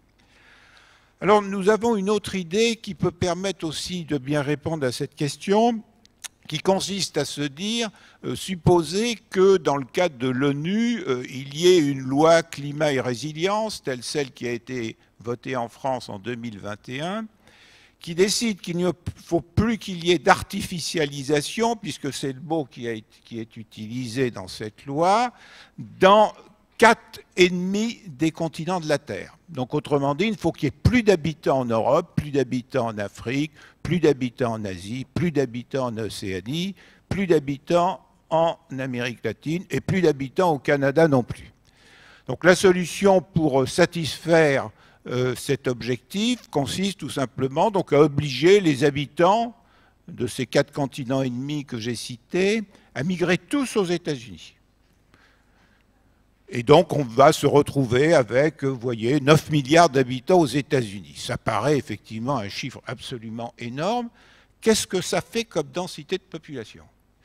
Eh bien, cela conduit à une densité de population aux États-Unis qui ne serait absolument pas une boîte de sardines, contrairement à ce que vous auriez pu penser éventuellement quand j'annonce ces chiffres, mais tout simplement à une densité de population qui serait inférieure à la densité actuelle de la région Île-de-France, une région qui pourtant a de vastes superficies rurales, euh, comme vous le savez. Donc cela signifie que finalement euh, Proudhon avait raison. Quand il écrivait Il n'y a qu'un homme en trop sur Terre, c'est Malthus. J'en arrive donc à mon second point, qui est de se demander si effectivement euh, nous avons un peuplement identique, signifie-t-il des enjeux identiques Alors je ne sais pas si c'est pour faire plaisir à Jean Robert, mais il se trouve que j'ai cherché deux pays qui avaient aujourd'hui la même population, et les deux pays que j'ai trouvés, c'est le Mexique et le Japon qui ont effectivement, à l'heure d'aujourd'hui, euh, chacun 127 euh, millions d'habitants. Lorsqu'on parle de population mondiale, bien entendu, on additionne la population des différents pays, et notamment on additionne la population du Mexique et du Japon, comme si ces deux pays étaient de même nature, sous prétexte qu'ils sont habités par le même nombre de citoyens. Or, lorsque j'examine les réalités des mots géographiques, eh je vois que ces pays ne sont absolument pas comparables. Autrement dit, parler des habitants euh, du Mexique et parler des habitants du, Japon, c'est ne pas savoir euh, distinguer les fourchettes et les cuillères, excusez-moi pour les Japonais et les Mexicains. En effet, sans entrer dans tous les, les détails de ce graphique, vous voyez que sur aucune donnée, ces deux pays sont comparables. Qu'il s'agisse du taux de natalité, relativement élevé au Mexique, relativement bas euh, au Japon, qu'il s'agisse de la fécondité, où là, le, Mexique est au seuil de remplacement des générations, le Japon bien en dessous, qu'il s'agisse du taux de mortalité, qui est relativement élevé au Japon, mais non pas en raison de mauvaises conditions sanitaires, mais en raison du vieillissement de la population. Et euh, bien entendu, si je regarde les taux de mortalité infantile, je vois une différence considérable qui illustre une situation sanitaire très différenciée entre ces deux pays.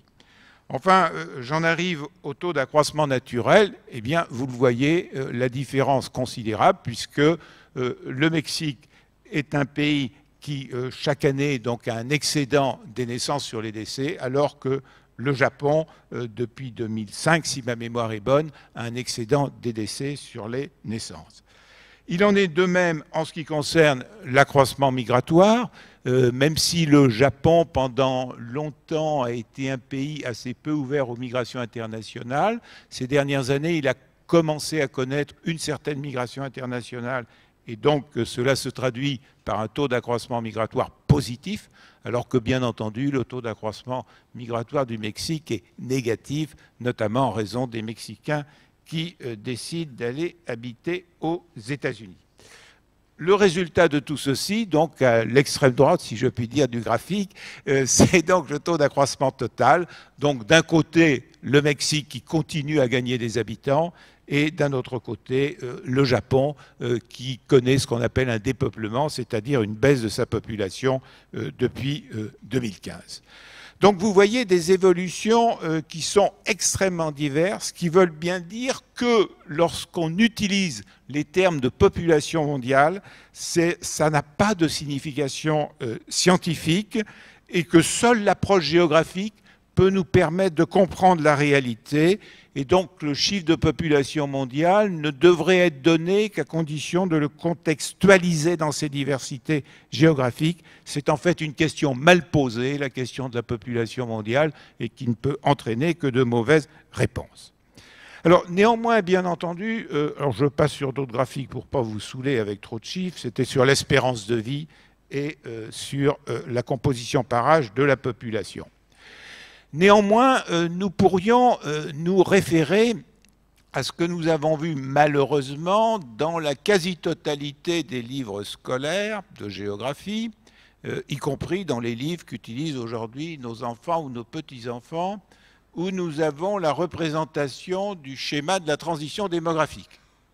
Et très généralement, ce schéma est représenté de la façon suivante. Avant la transition démographique, eh bien, le régime démographique était stable c'est-à-dire que le taux de natalité, le taux de mortalité était stable euh, au fil du temps et l'aurait été jusqu'à la transition démographique qui, vous le savez, a commencé à des dates différentes selon les pays.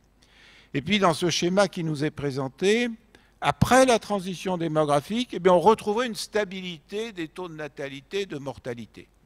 Donc autrement dit, cette présentation donne l'impression qu'il y aurait convergence des évolutions démographiques entre les différents pays. Donc, à un moment donné, comme nous l'avons vu avec le Mexique et euh, le Japon, mais nous l'aurions pu comparer d'autres pays à population comparable, eh bien, euh, ce moment donné n'aurait pas de signification parce qu'en réalité, il y aurait une convergence et donc à terme, on se retrouverait dans les différents pays du monde dans un régime démographique semblable est-ce que cette convergence en matière d'urbanisation, en matière de démographie qui est en vue Eh bien, la question à cette réponse, elle est plutôt négative. Elle est plutôt négative dans la mesure où euh, nous avons d'une part des pays qui n'ont pas fini leur transition démographique, bon, essentiellement en Afrique, où là aussi les différences sont tout à fait considérables selon les évolutions propres à chaque euh, territoire. Et quant aux pays qui sont en période post-transitionnelle, c'est-à-dire qu'on finit leur transition démographique, comme les pays européens, bien entendu, euh, les évolutions connaissent des variétés géographiques considérables. Et nous venons à nouveau de le vivre avec la pandémie Covid-19. On aurait pu penser, avec un regard un peu général et sans tenir compte des aspects géographiques, que compte tenu du niveau sanitaire relativement semblable dans les différents pays européens, les effets mortifères de la, pandémie Covid-19 auraient été à peu près les mêmes dans les différents pays européens. Or, ce n'est absolument pas le cas. Hein, si nous regardons les évolutions de l'espérance de vie dans les pays européens en 2020 et en 2021 par rapport à 2019, eh bien, nous voyons des évolutions extrêmement différenciées. Certains pays ont même, deux pays ont même gagné de l'espérance de vie malgré la pandémie Covid-19. Ceux qui ont perdu de l'espérance de vie sous l'effet de la pandémie Covid-19 l'ont perdu à des niveaux très différents selon les pays européens. Et donc, vous voyez ces différences considérables qui signifie la nécessité de prendre en compte euh, les réalités euh, géographiques. C'est vrai également en matière, par exemple, de taux d'urbanisation, où là aussi, ces taux n'ont pas grande signification, D'abord parce que leurs déterminants sont variés selon les pays, notamment en fonction des politiques publiques. Hein, le cas de la Chine est bien connu, avec un pays qui, pour simplifier, du temps de Mao, est un pays anti-urbanisation, et donc qui empêche le développement de la population urbaine, et puis, depuis les réformes économiques, devient un pays, mais alors pro-urbanisation à un point considérable, euh, pensant effectivement que seules les grandes métropoles vont faire la force de la Chine de demain. Et de la même façon, si nous comparons les taux d'urbanisation entre deux pays et si nous constatons qu'ils sont semblables, cela n'aura aucun sens parce que deux taux d'urbanisation semblables peuvent en fait cacher des armatures urbaines totalement différentes. Donc une armature urbaine qui va être macrocéphale dans un pays et une armature urbaine qui va être polycéphale dans un autre euh, pays. En matière migratoire, il en est évidemment de même. Les variétés selon les pays euh, sont considérables, mais ceci, j'irai, est davantage euh, connu. La grosse difficulté, c'est que les projections sont fondées sur des évolutions linéaires. Or, le monde et dans des dynamiques extrêmement variées. Je résume à travers cette courbe trois types d'évolution très grandes. Donc voyez en gros en orange euh, la situation de, la Chine, qui est un pays dont la population continue de croître, mais uniquement par effet de vitesse acquise. C'est-à-dire qu'aujourd'hui, sa fécondité est insuffisante pour remplacer ces générations, mais comme la Chine bénéficie encore de générations relativement nombreuses, euh, nées il y a 25 ou 30 ans, elle a encore une situation où son nombre de naissances est supérieur à son nombre de décès, même si certains pensent que la situation est peut-être déjà dans un sol naturel négatif si le gouvernement chinois nous donnait les vrais chiffres. Quoi qu'il en soit, euh, ce phénomène va très probablement arriver assez rapidement s'il n'est pas, déjà le cas. Donc une croissance qui a perduré au moins depuis le début euh, du XXIe siècle grâce à des effets d'inertie. Vous avez alors en vert ou bleu en bas euh, la situation de l'Allemagne, où là vous voyez une situation divers démographique avec une fécondité qui est très basse depuis plusieurs décennies, et donc un excédent des décès sur la naissance euh, qui dure maintenant depuis 1993. Et puis l'exemple en haut, c'est l'exemple du Nigeria, donc un pays qui n'a pas terminé sa transition démographique et qui a un taux euh, d'accroissement naturel encore considérablement élevé. Et donc, supposons que ces différents pays, néanmoins, finissent par converger avec euh, euh, des fécondités semblables et des taux de mortalité infantile semblables. Est-ce que cela se traduirait par les mêmes dynamiques démographiques? Ben, La réponse est non, euh, parce que des taux de natalité semblables s'appliquent sur des pyramides des âges différentes issues de l'histoire démographique de chacun des pays. Et donc cela signifie qu'en réalité, aujourd'hui, la situation euh, géodémographique du monde, c'est une situation extrêmement fragmentée et elle le sera demain, même si les comportements s'unifiaient sur l'ensemble de la planète. Alors, en conclusion, vous voyez la nécessité d'insister sur la très grande variété géographique des déterminants des évolutions démographiques, que ce soit les déterminants proches, lointains ou lointains, lointains, je, passe parce que je n'ai pas le temps d'évoquer. Et donc, la conséquence de cette variété géographique des déterminants, c'est une extrême variété des enjeux. Euh, pour reprendre l'exemple que j'évoquais tout à l'heure, vous voyez clairement la différence en matière d'enjeux sanitaires entre le Japon et le Mexique. Le Japon est un pays qui est parvenu effectivement à un système sanitaire particulièrement efficient, avec la plus longue espérance de vie de tous les pays du monde, alors que le Mexique a des efforts important encore à conduire en matière d'amélioration de son système sanitaire s'il veut abaisser sa mortalité infantile et augmenter son espérance de vie.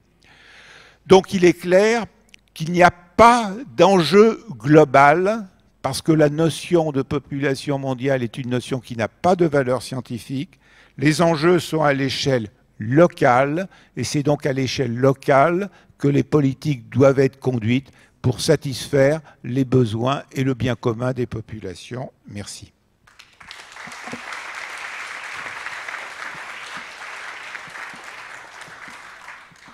Bien, eh ben, le temps du débat est ouvert jusqu'à midi et demi. Voilà, donc euh, signalez-vous éventuellement l'avance. Alors, euh, Hervé Vieillard Baron, tout au fond. Si, euh, bon, je pense que le micro arrive. ma question s'adresse à Gérard François Dumont parce qu'il n'a pas cité la Russie. Et ça me semble pourtant un pays très important dans le cadre de la démographie, puisque on peut penser qu'une des motivations de la Russie est de trouver sur ses marges des réservoirs de population, étant donné que la démographie baisse considérablement et que le taux de natalité est très faible. Même si en Ukraine ou dans les pays baltes ou autres, le taux de natalité a baissé aussi. Mais est-ce qu'on peut penser, en termes géopolitiques, qu'une des motivations de la Russie est de trouver de nouvelles populations sur ses marges? Merci de cette question. Donc, elle, euh, nécessite tout simplement de, rappeler toute l'importance de la loi du nombre. Et d'ailleurs, Béatrice Gibelin en a parlé tout à l'heure à propos de la Chine. Donc, si nous avons vendu euh, autant de technologies à la Chine, c'est bien parce que ça représentait un marché euh, tout à fait important. Et si nous ne disons rien sur ce qui se passe au Tibet, c'est bien parce que la Chine est un client important. Donc concernant la Russie, en fait, son évolution démographique est extrêmement intéressante parce qu'elle est passée dans une période dont, en gros, la période des années 1990, où on annonçait une baisse de la population extrêmement importante en Russie.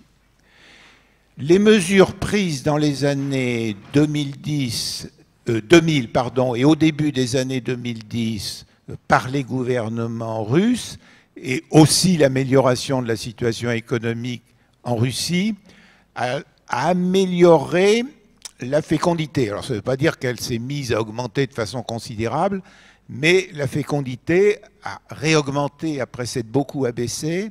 Et donc lorsque nous sommes en gros en 2015, nous sommes obligés de réviser les projections moyennes de la Russie, c'est-à-dire une baisse de population beaucoup plus faible que ce qui avait été envisagé en 1995. Bon, néanmoins, euh, la Russie est un pays euh, qui, chaque année, enregistre plus de décès que de naissances. Et euh, M. Poutine connaît bien la loi du nombre, puisque dans l'un de ses discours, il avait précisé, il y a cinq ou six ans, un pays vaste comme la Russie devrait avoir 500 millions d'habitants. Tout le monde sait ici que la Russie est effectivement le pays le plus vaste de, du monde. Eh bien, bien entendu, et votre question est tout à fait justifiée, dans les objectifs euh, de la Russie, aujourd'hui comme hier, hein, il y a le souci, bien entendu, de l'accès aux mers chaudes, ce qui a été évoqué par Béatrice Gibelin tout à l'heure, hein, mais il y a aussi effectivement ce, souci démographique.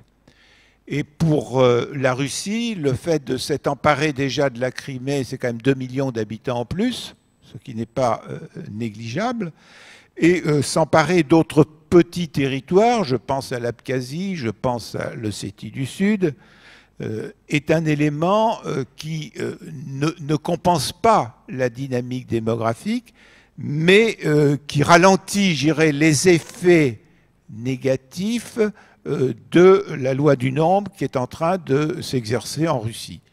Donc clairement, comme toujours, euh, la, décision d'envahir euh, l'Ukraine de la Russie est une décision plurifactorielle. Et ce serait absurde euh, de considérer qu'il n'y aurait qu'un unique facteur qui aurait été pris en considération. C'est tout un ensemble de facteurs qui expliquent cette décision. Et parmi ces facteurs, il y a, vous avez raison, le facteur démographique. Alors, autre question?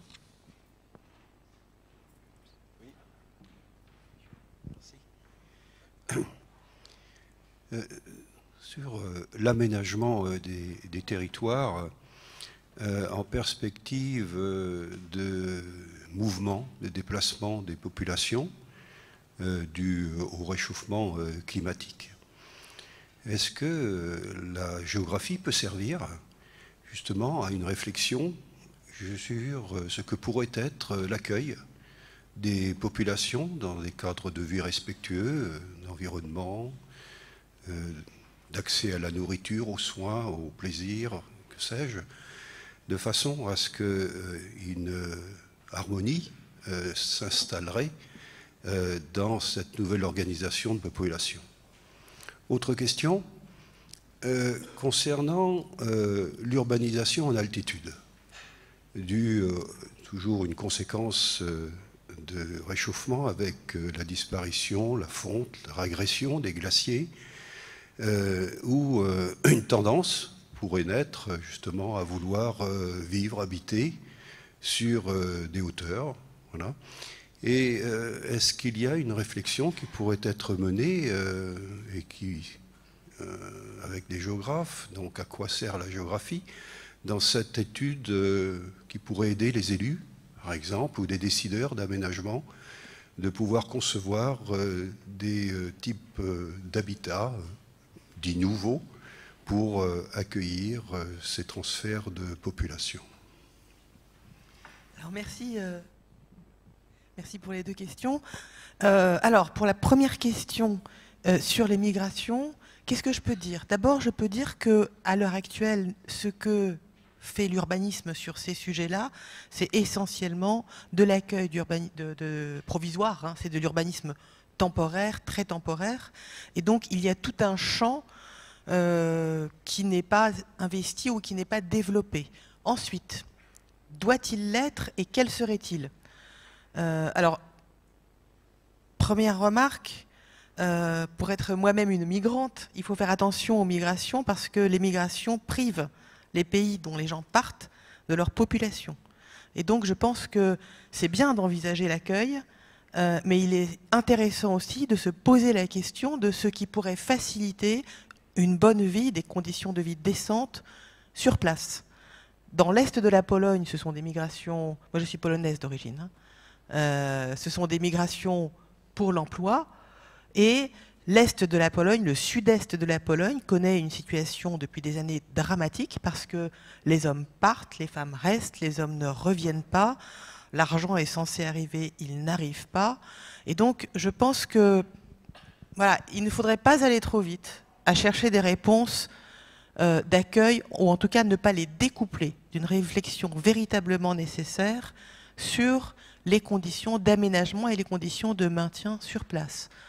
Euh, d'autant plus que, au fond, euh, derrière tout ça, il y a aussi un petit peu de business et que cet argent qu'on dépense chez nous, on pourrait aussi le dépenser là-bas pour permettre euh, aux personnes de rester. Et je pense que par rapport à cela, eh bien, l'apport plus généralement de la géographie a une dimension intéressante sur la question régionale et sur la question des échelles. Euh, puisque tout à l'heure, quand je parlais des architectes et des géographes, je n'ai pas pris le temps de dire, parce qu'il faut faire des choix lorsqu'on parle vite, euh, eh bien que les architectes sont très forts sur la plus grande échelle, hein, et puis les géographes maîtrisent très bien euh, des échelles plus petites.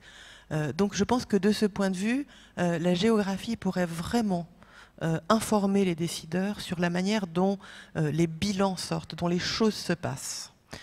Euh, sur la deuxième question, la question des, montagnes, euh, eh bien, je pense que là, pour le coup, je n'ai pas les éléments sur les montagnes, mais ce à quoi cela me fait penser, euh, c'est dans les années 20, dans les années 30 et puis dans les années 50, on a eu des collaborations entre urbanistes et géographes, d'ailleurs à l'époque sur le climat, sur les vents.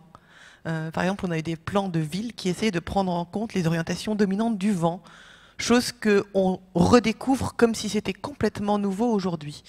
Et donc je ne saurais pas dire ce que les géographes peuvent apporter en la matière, euh, mais je pense qu'il y a effectivement un, véritable champ euh, à investir dans cette adéquation, euh, j'ai envie de dire, des aménagements ainsi que de l'habitat aux conditions climatiques. On, est loin d'avoir tout dit et, on a beaucoup de choses à redécouvrir dans, le passé.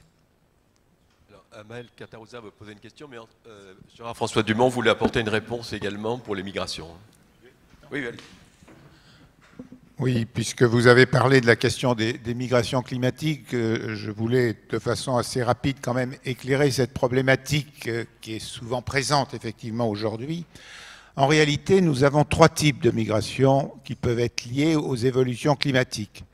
Les premières, c'est ce que j'appellerais donc les migrations obligées, c'est celle dont vous avez parlé dans votre question, et c'est celle dont on parle le plus, je dirais, euh, dans les médias.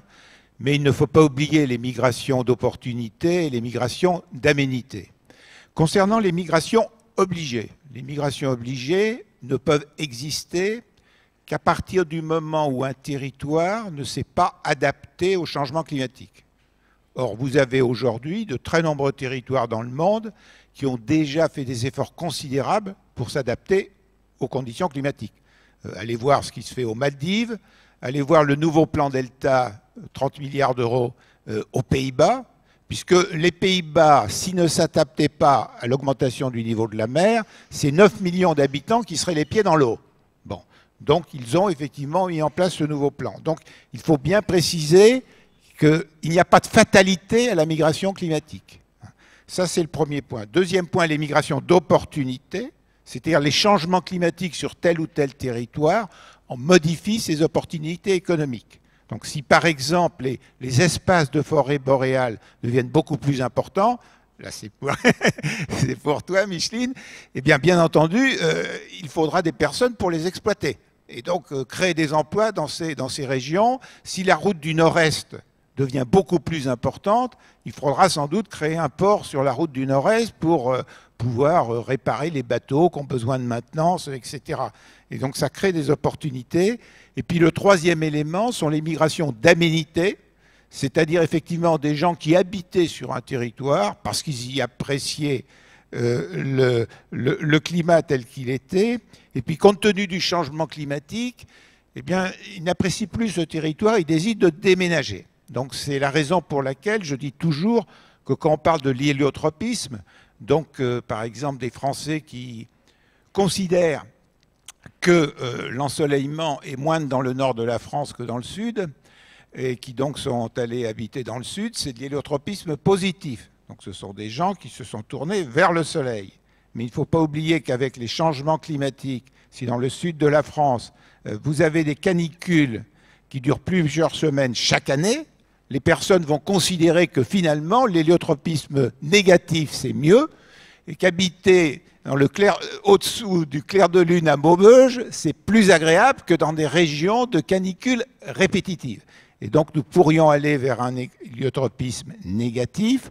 Et quand je dis nous pourrions aller, nous y sommes déjà, dans la mesure où depuis que j'ai évoqué ces différentes notions, il y a maintenant peut-être 10 ou 15 ans, j'ai rencontré pas mal de gens qui ont déjà déménagé de régions méridionales pour aller dans des régions septentrionales de la France.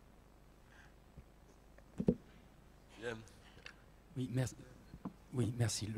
oui, donc euh, ben, merci pour, euh, pour ces, interventions et je remercie euh, Paul Arnoux d'avoir rappelé que la question, les questions environnementales étaient débattues aussi en géographie et que donc du coup, c'est le début de l'intervention de dire qu'effectivement, il y avait des positions un petit peu différentes en fonction des, des, des auteurs. Hein, et, et, du coup, effectivement, moi, la, la, question que je me pose par rapport au, au réchauffement climatique, et ça va avoir aussi des incidences par rapport à ce qui vient d'être dit sur les, sur les migrations, euh, c'est euh, finalement, euh, bon, on, peut effectivement poser la question du réchauffement climatique sur des enjeux locaux, comme ça vient d'être rappelé, et, du coup, effectivement, il y a toute une complexité de champs qui se, qui se pose. Après, on sait quand même, aujourd'hui, j'ai l'impression maintenant qu'il n'y a plus de débat sur la question de réchauffement climatique, c'est relativement nouveau, puisqu'il y avait déjà des débats, il y avait encore des débats au sein, y du CNFG dans, les années 2000. Bon, aujourd'hui, il n'y a plus de débat sur cette question-là, puisque en tout cas, ça a l'air d'être, c'est ce que je retiens de cette intervention. et, ce qu'on sait aussi, c'est que ce réchauffement va avoir des impacts relativement différenciés. Hein, euh, de part et d'autre de la planète. Donc c'est ça aussi qui vient d'être dit. Du coup, effectivement, euh, euh, moi qui suis dans la géopolitique tous les jours, j'entends des gens comme Antonio Guterres, qui était, d'abord membre, qui avait dirigé le NHCR, hein, la question des réfugiés, et puis qui a été à, l'ONU secrétaire général, qui posait la question des, effectivement, des migrations climatiques avec des chiffres colossaux.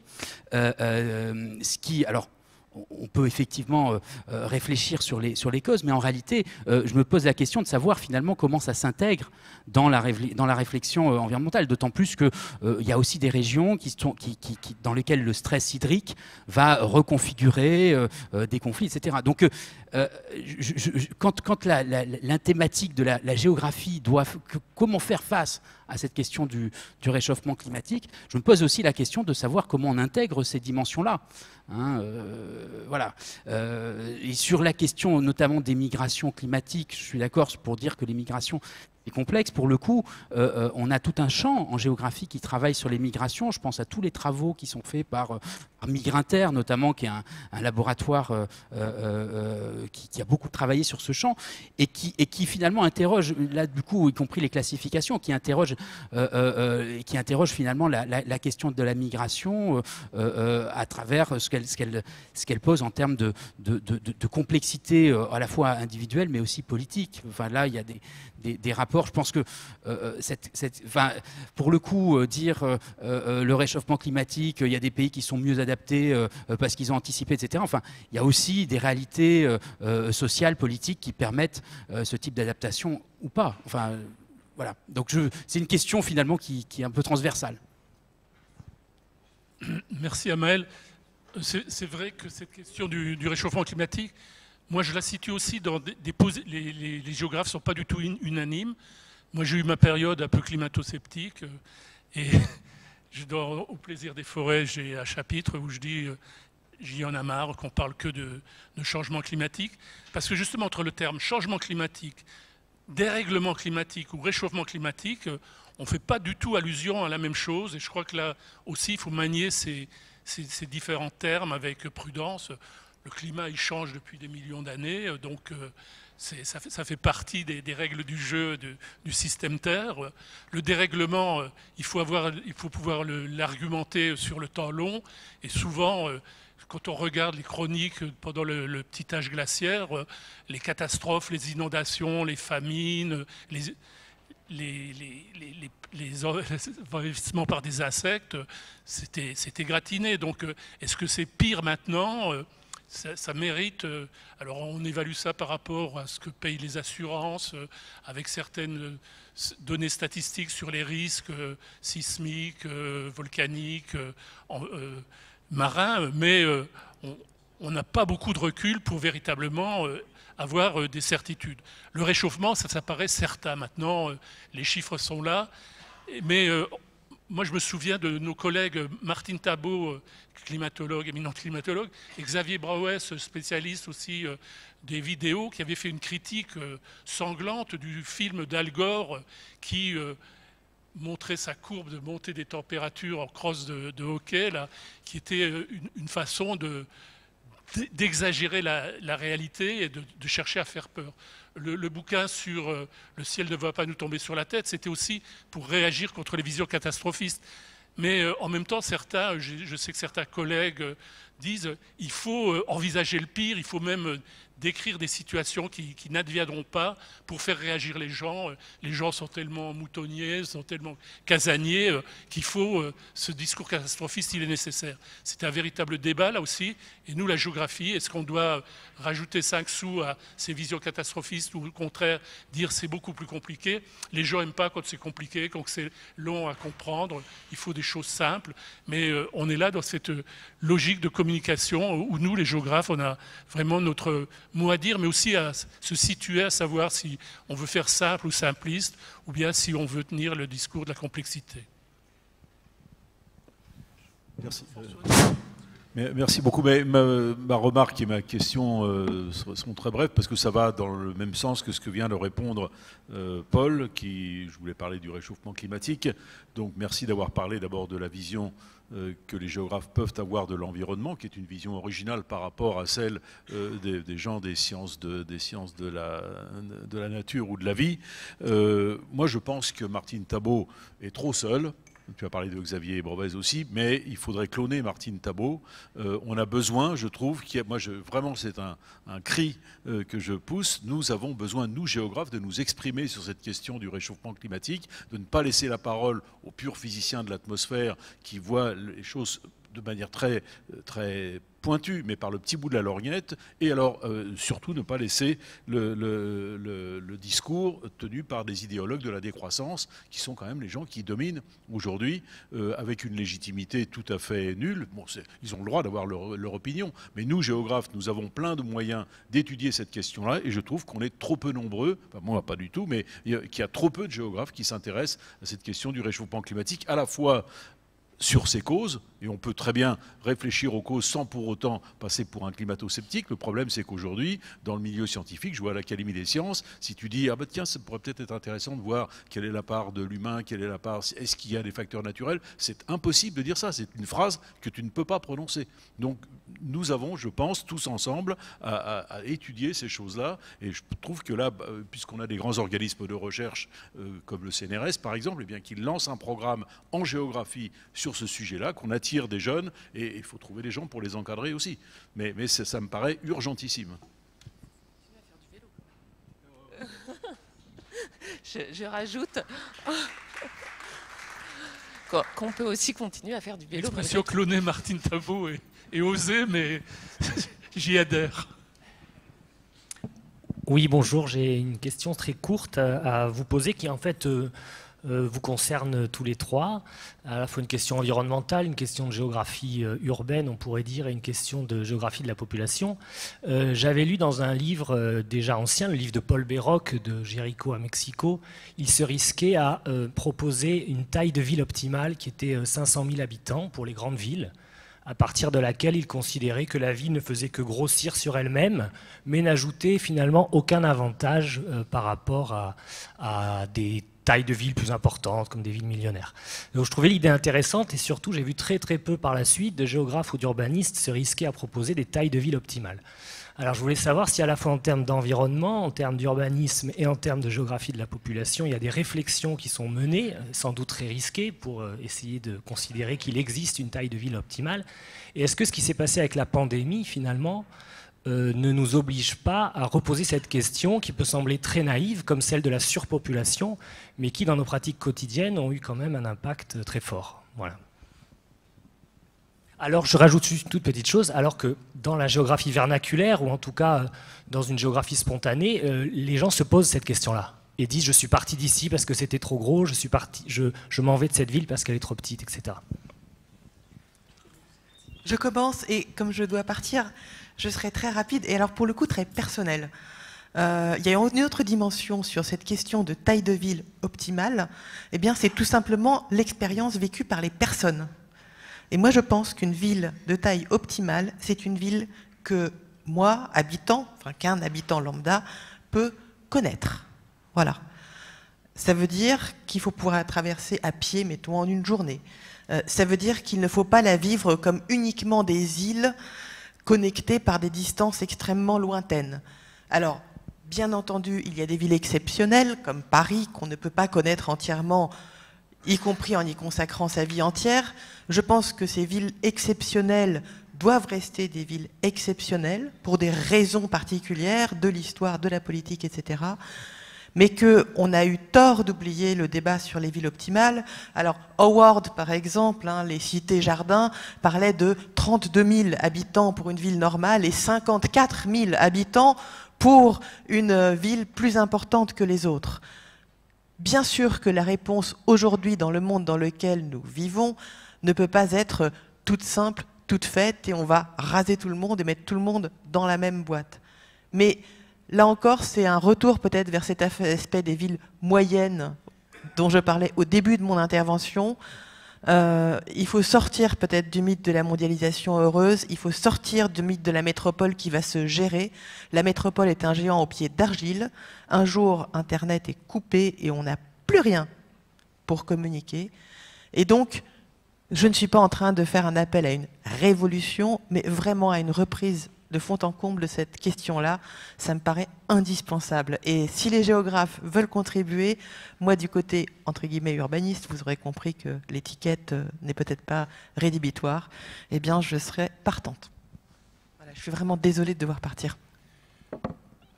Dans le prolongement, c'est vrai qu'aussi l'idée de, taille idéale des, villes, il y a la question des villes nouvelles après les, cités jardins du début du, 20e, au milieu du 20e, les villes nouvelles aussi, c'était euh, des villes à visage humain, à taille humaine, pour faire face à ce que certains ont appelé euh, les mégalopoles ou les monstruopoles.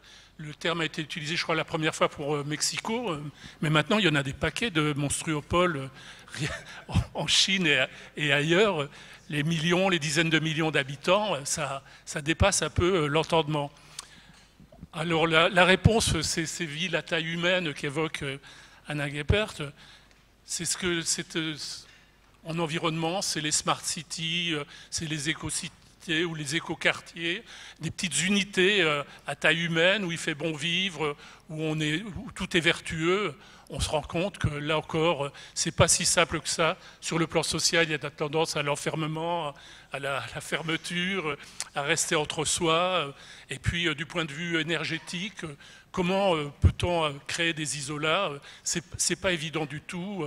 Comment rester connecté Et la connexion, l'évaluation du coût énergétique des, du monde connecté où l'on est, euh, pour avoir travaillé à la haute autorité environnementale et avoir vu le, paquet de data centers qui veulent s'installer en région parisienne, on se rend compte qu'il y a des grands enjeux énergétiques. C'est l'implantation de ces immenses euh, centres de traitement des données qui sont des consommateurs d'énergie, de flotte, et, qui doivent être au plus proche des villes et qui sont des lieux à risque un tout petit mot, pardonnez-moi. Il y a aussi la question qui va avec de comment ça évolue une ville. En fait, la grande imposture du modernisme en la matière, ça a été le modulor du Corbusier. C'est l'idée qu'on va faire un truc et puis on va raccrocher, raccrocher, raccrocher et ça va toujours marcher pareil, ça sera reproductible. Or, effectivement, la question de la taille, c'est une question à laquelle on se heurte à un moment donné à force de raccrocher des pièces de Lego. Et donc la question est de savoir finalement, faut-il rester sur cette vision mécanique du développement urbain dont la Smart City est un avatar nouveau ou faut-il revenir un petit peu, retoucher terre et reprendre l'idée d'un développement plus organique, même si la ville n'est pas un organe comme le nôtre, et qui est, à mon sens, plus harmonieux? Je vais peut-être, avant de répondre à votre question sur l'optimum, peut-être un mot quand même sur la question des migrations climatiques, parce que pour faire plaisir à Amel, mais pas seulement, euh, la question des migrations climatiques aujourd'hui est aussi une question géopolitique. Et de façon extrêmement importante. J'évoquais les Maldives tout à l'heure. Euh, si les Maldives ont pu euh, financer euh, autant de, travaux pour s'adapter au changement climatique, c'est notamment parce que la Chine en a financé une partie. pour prendre un autre exemple, la, la Nouvelle-Zélande avait décidé effectivement d'instaurer une possibilité d'immigrer en Nouvelle-Zélande pour des raisons climatiques. Et donc, euh, du coup, il y a quelques habitants euh, des îles Tuvalu qui ont euh, donc, en utilisant cette, cette, procédure de possibilité de migrer, ont décidé de migrer en Nouvelle-Zélande. Et il se trouve que bon, j'ai dirigé un travail d'une étudiante qui, qui, était allée interroger ces fameux migrants climatiques, puisque c'était leur nom officiel. Et en réalité, ils ont dit non, on n'a pas du tout migré pour des raisons climatiques. On a profité de cette opportunité qui se présentait à nous pour migrer parce que ça nous intéressait de se retrouver en Nouvelle-Zélande, mais ce n'était absolument pas le cas. Donc c'est une question géopolitique et effectivement, euh, avec beaucoup de discussions à l'ONU, est-ce qu'il faut que le droit d'asile s'étende au droit aux migrations climatiques, etc. Et donc c'est en ce stade qu'on en parle beaucoup, mais réel, le, véritable quand même problème pour moi, c'est la nécessité d'utiliser le pluriel face aux évolutions climatiques. même à l'intérieur des territoires français, vous pouvez regarder les travaux du, GIEC, vous avez des différences d'évolution climatique extrêmement grandes selon que vous êtes dans le sud, dans le sud-ouest ou que vous êtes en, en, Normandie. Donc la réalité, elle est de toute façon locale en la matière. Même quand on parle de l'élévation du niveau des mers, faut pas croire que les mers vont s'élever de 2 cm de façon homogène sur l'ensemble des territoires du monde. Ce n'est pas du tout ça. Hein. les évolutions vont être extrêmement diversifiées. Donc c'est localement qu'il faut s'adapter. Et c'est la raison pour laquelle moi je ne suis pas très favorable aux lois générales euh, telles qu'on les applique en France aujourd'hui, parce que la transition écologique suppose la mise en œuvre de moyens fondamentalement différents selon que vous êtes en Alsace ou dans le département des Landes. Et donc, ce n'est pas la loi qui doit décider ce, genre de choses de façon euh, avec une mise en œuvre identique. Alors, j'en viens aux questions de l'optimum de population. Évidemment, j'ai beaucoup apprécié votre question, euh, parce que la réponse, elle est déjà chez Platon il y a 25 siècles. Puisque Platon est quelqu'un qui est partisan de l'optimum de population. Donc, il écrit, c'est simple, dans une ville comme Athènes, il faut 5040 foyers. Alors pourquoi 5040 Ce n'est pas un chiffre qui tombe du ciel comme ça. C'est parce que c'est un chiffre qui est divisible de 1 à 12 sauf 11. Et donc on peut comme ça bien contrôler la population. Et Platon donc propose une politique démographique pour conserver cette stabilité de population. Et donc cela signifie pour lui que si effectivement il y a trop de naissances et que la population risque d'augmenter, il ben, faut envoyer les gens dans des colonies. Voilà. S'il n'y a pas assez de naissances, je, ne caricature pas, hein, c'est vraiment dans le texte de Platon ce que je vous dis, même si ce n'est pas exactement formulé de la même façon, je simplifie. S'il n'y a pas assez de naissances, eh bien, il faut que les personnes âgées fassent la morale aux jeunes pour qu'ils aient envie de procréer. Voilà. Et, dit Platon, si finalement, malheureusement, la population baisse, bah, faut faire venir des immigrés. Simplement, c'est la dernière solution que je propose parce que les immigrés, il faut arriver à les intégrer. C'est Platon, il y a 25 siècles. Bon, alors ensuite, aujourd'hui, aujourd'hui, c'est une question qui n'est pratiquement plus à l'ordre du jour, mais effectivement, dans les années 1950 et 1960, on trouve pas mal de textes et de réflexions sur l'optimum de population. Et comme finalement ces réflexions ne débouchent sur rien, puisqu'il n'y a pas d'optimum de population pour une raison bien simple, et nous l'avons vu tout à l'heure avec la comparaison avec le Mexique et, le Japon, c'est-à-dire que euh, si vous considérez un territoire qui a 5000 habitants, cela ne signifie rien. Quelle est leur composition par âge? Quelle est leur composition socio-professionnelle?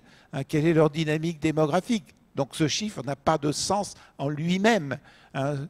Euh, et, donc le résultat de tout ceci, c'est que euh, imaginer qu'il y ait un optimum idéal est, absurde. En revanche, il y a, et vous l'avez très bien dit dans votre question, il y a la question du, du mode d'habitat. C'est-à-dire, est-ce qu'on est dans un mode d'habitat concentré? Est-ce qu'on est dans un mode d'habitat collectif ou d'habitat individuel? Prenons un exemple pour, terminer, parce que je vois que je suis trop lent. clairement, la France des années 60 et 70 a choisi les grands ensembles. C'est ce choix urbanistique qui a été fait.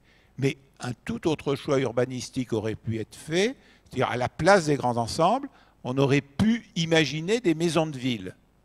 Alors vous allez me dire, mais si on avait des maisons de ville, on n'aurait pas pu avoir autant de population. Non, la densité de population d'un quartier de maison de ville est supérieure à la densité de population de grands ensembles. Il faut distinguer la densité ressentie quand on regarde et la densité réelle.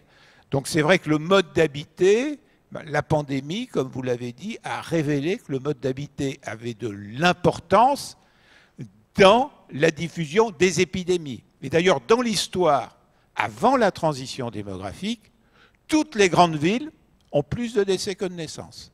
Parce qu'effectivement, les épidémies se répandent très rapidement dans les villes, et donc les villes, elles sont en une situation de risque de dépeuplement, et ce qui a permis le développement des villes, c'est uniquement l'émigration des gens des campagnes, jusque donc en gros à la fin du XVIIIe siècle, parce que la situation, même si la situation est variée, parce que évidemment, vous avez de l'eau propre dans le nord de Londres et une faible mortalité, une très forte mortalité dans le sud de Londres, mais je m'arrête là. Merci. Nous sommes arrivés donc au mot de la fin de la matinée, c'est-à-dire bon appétit.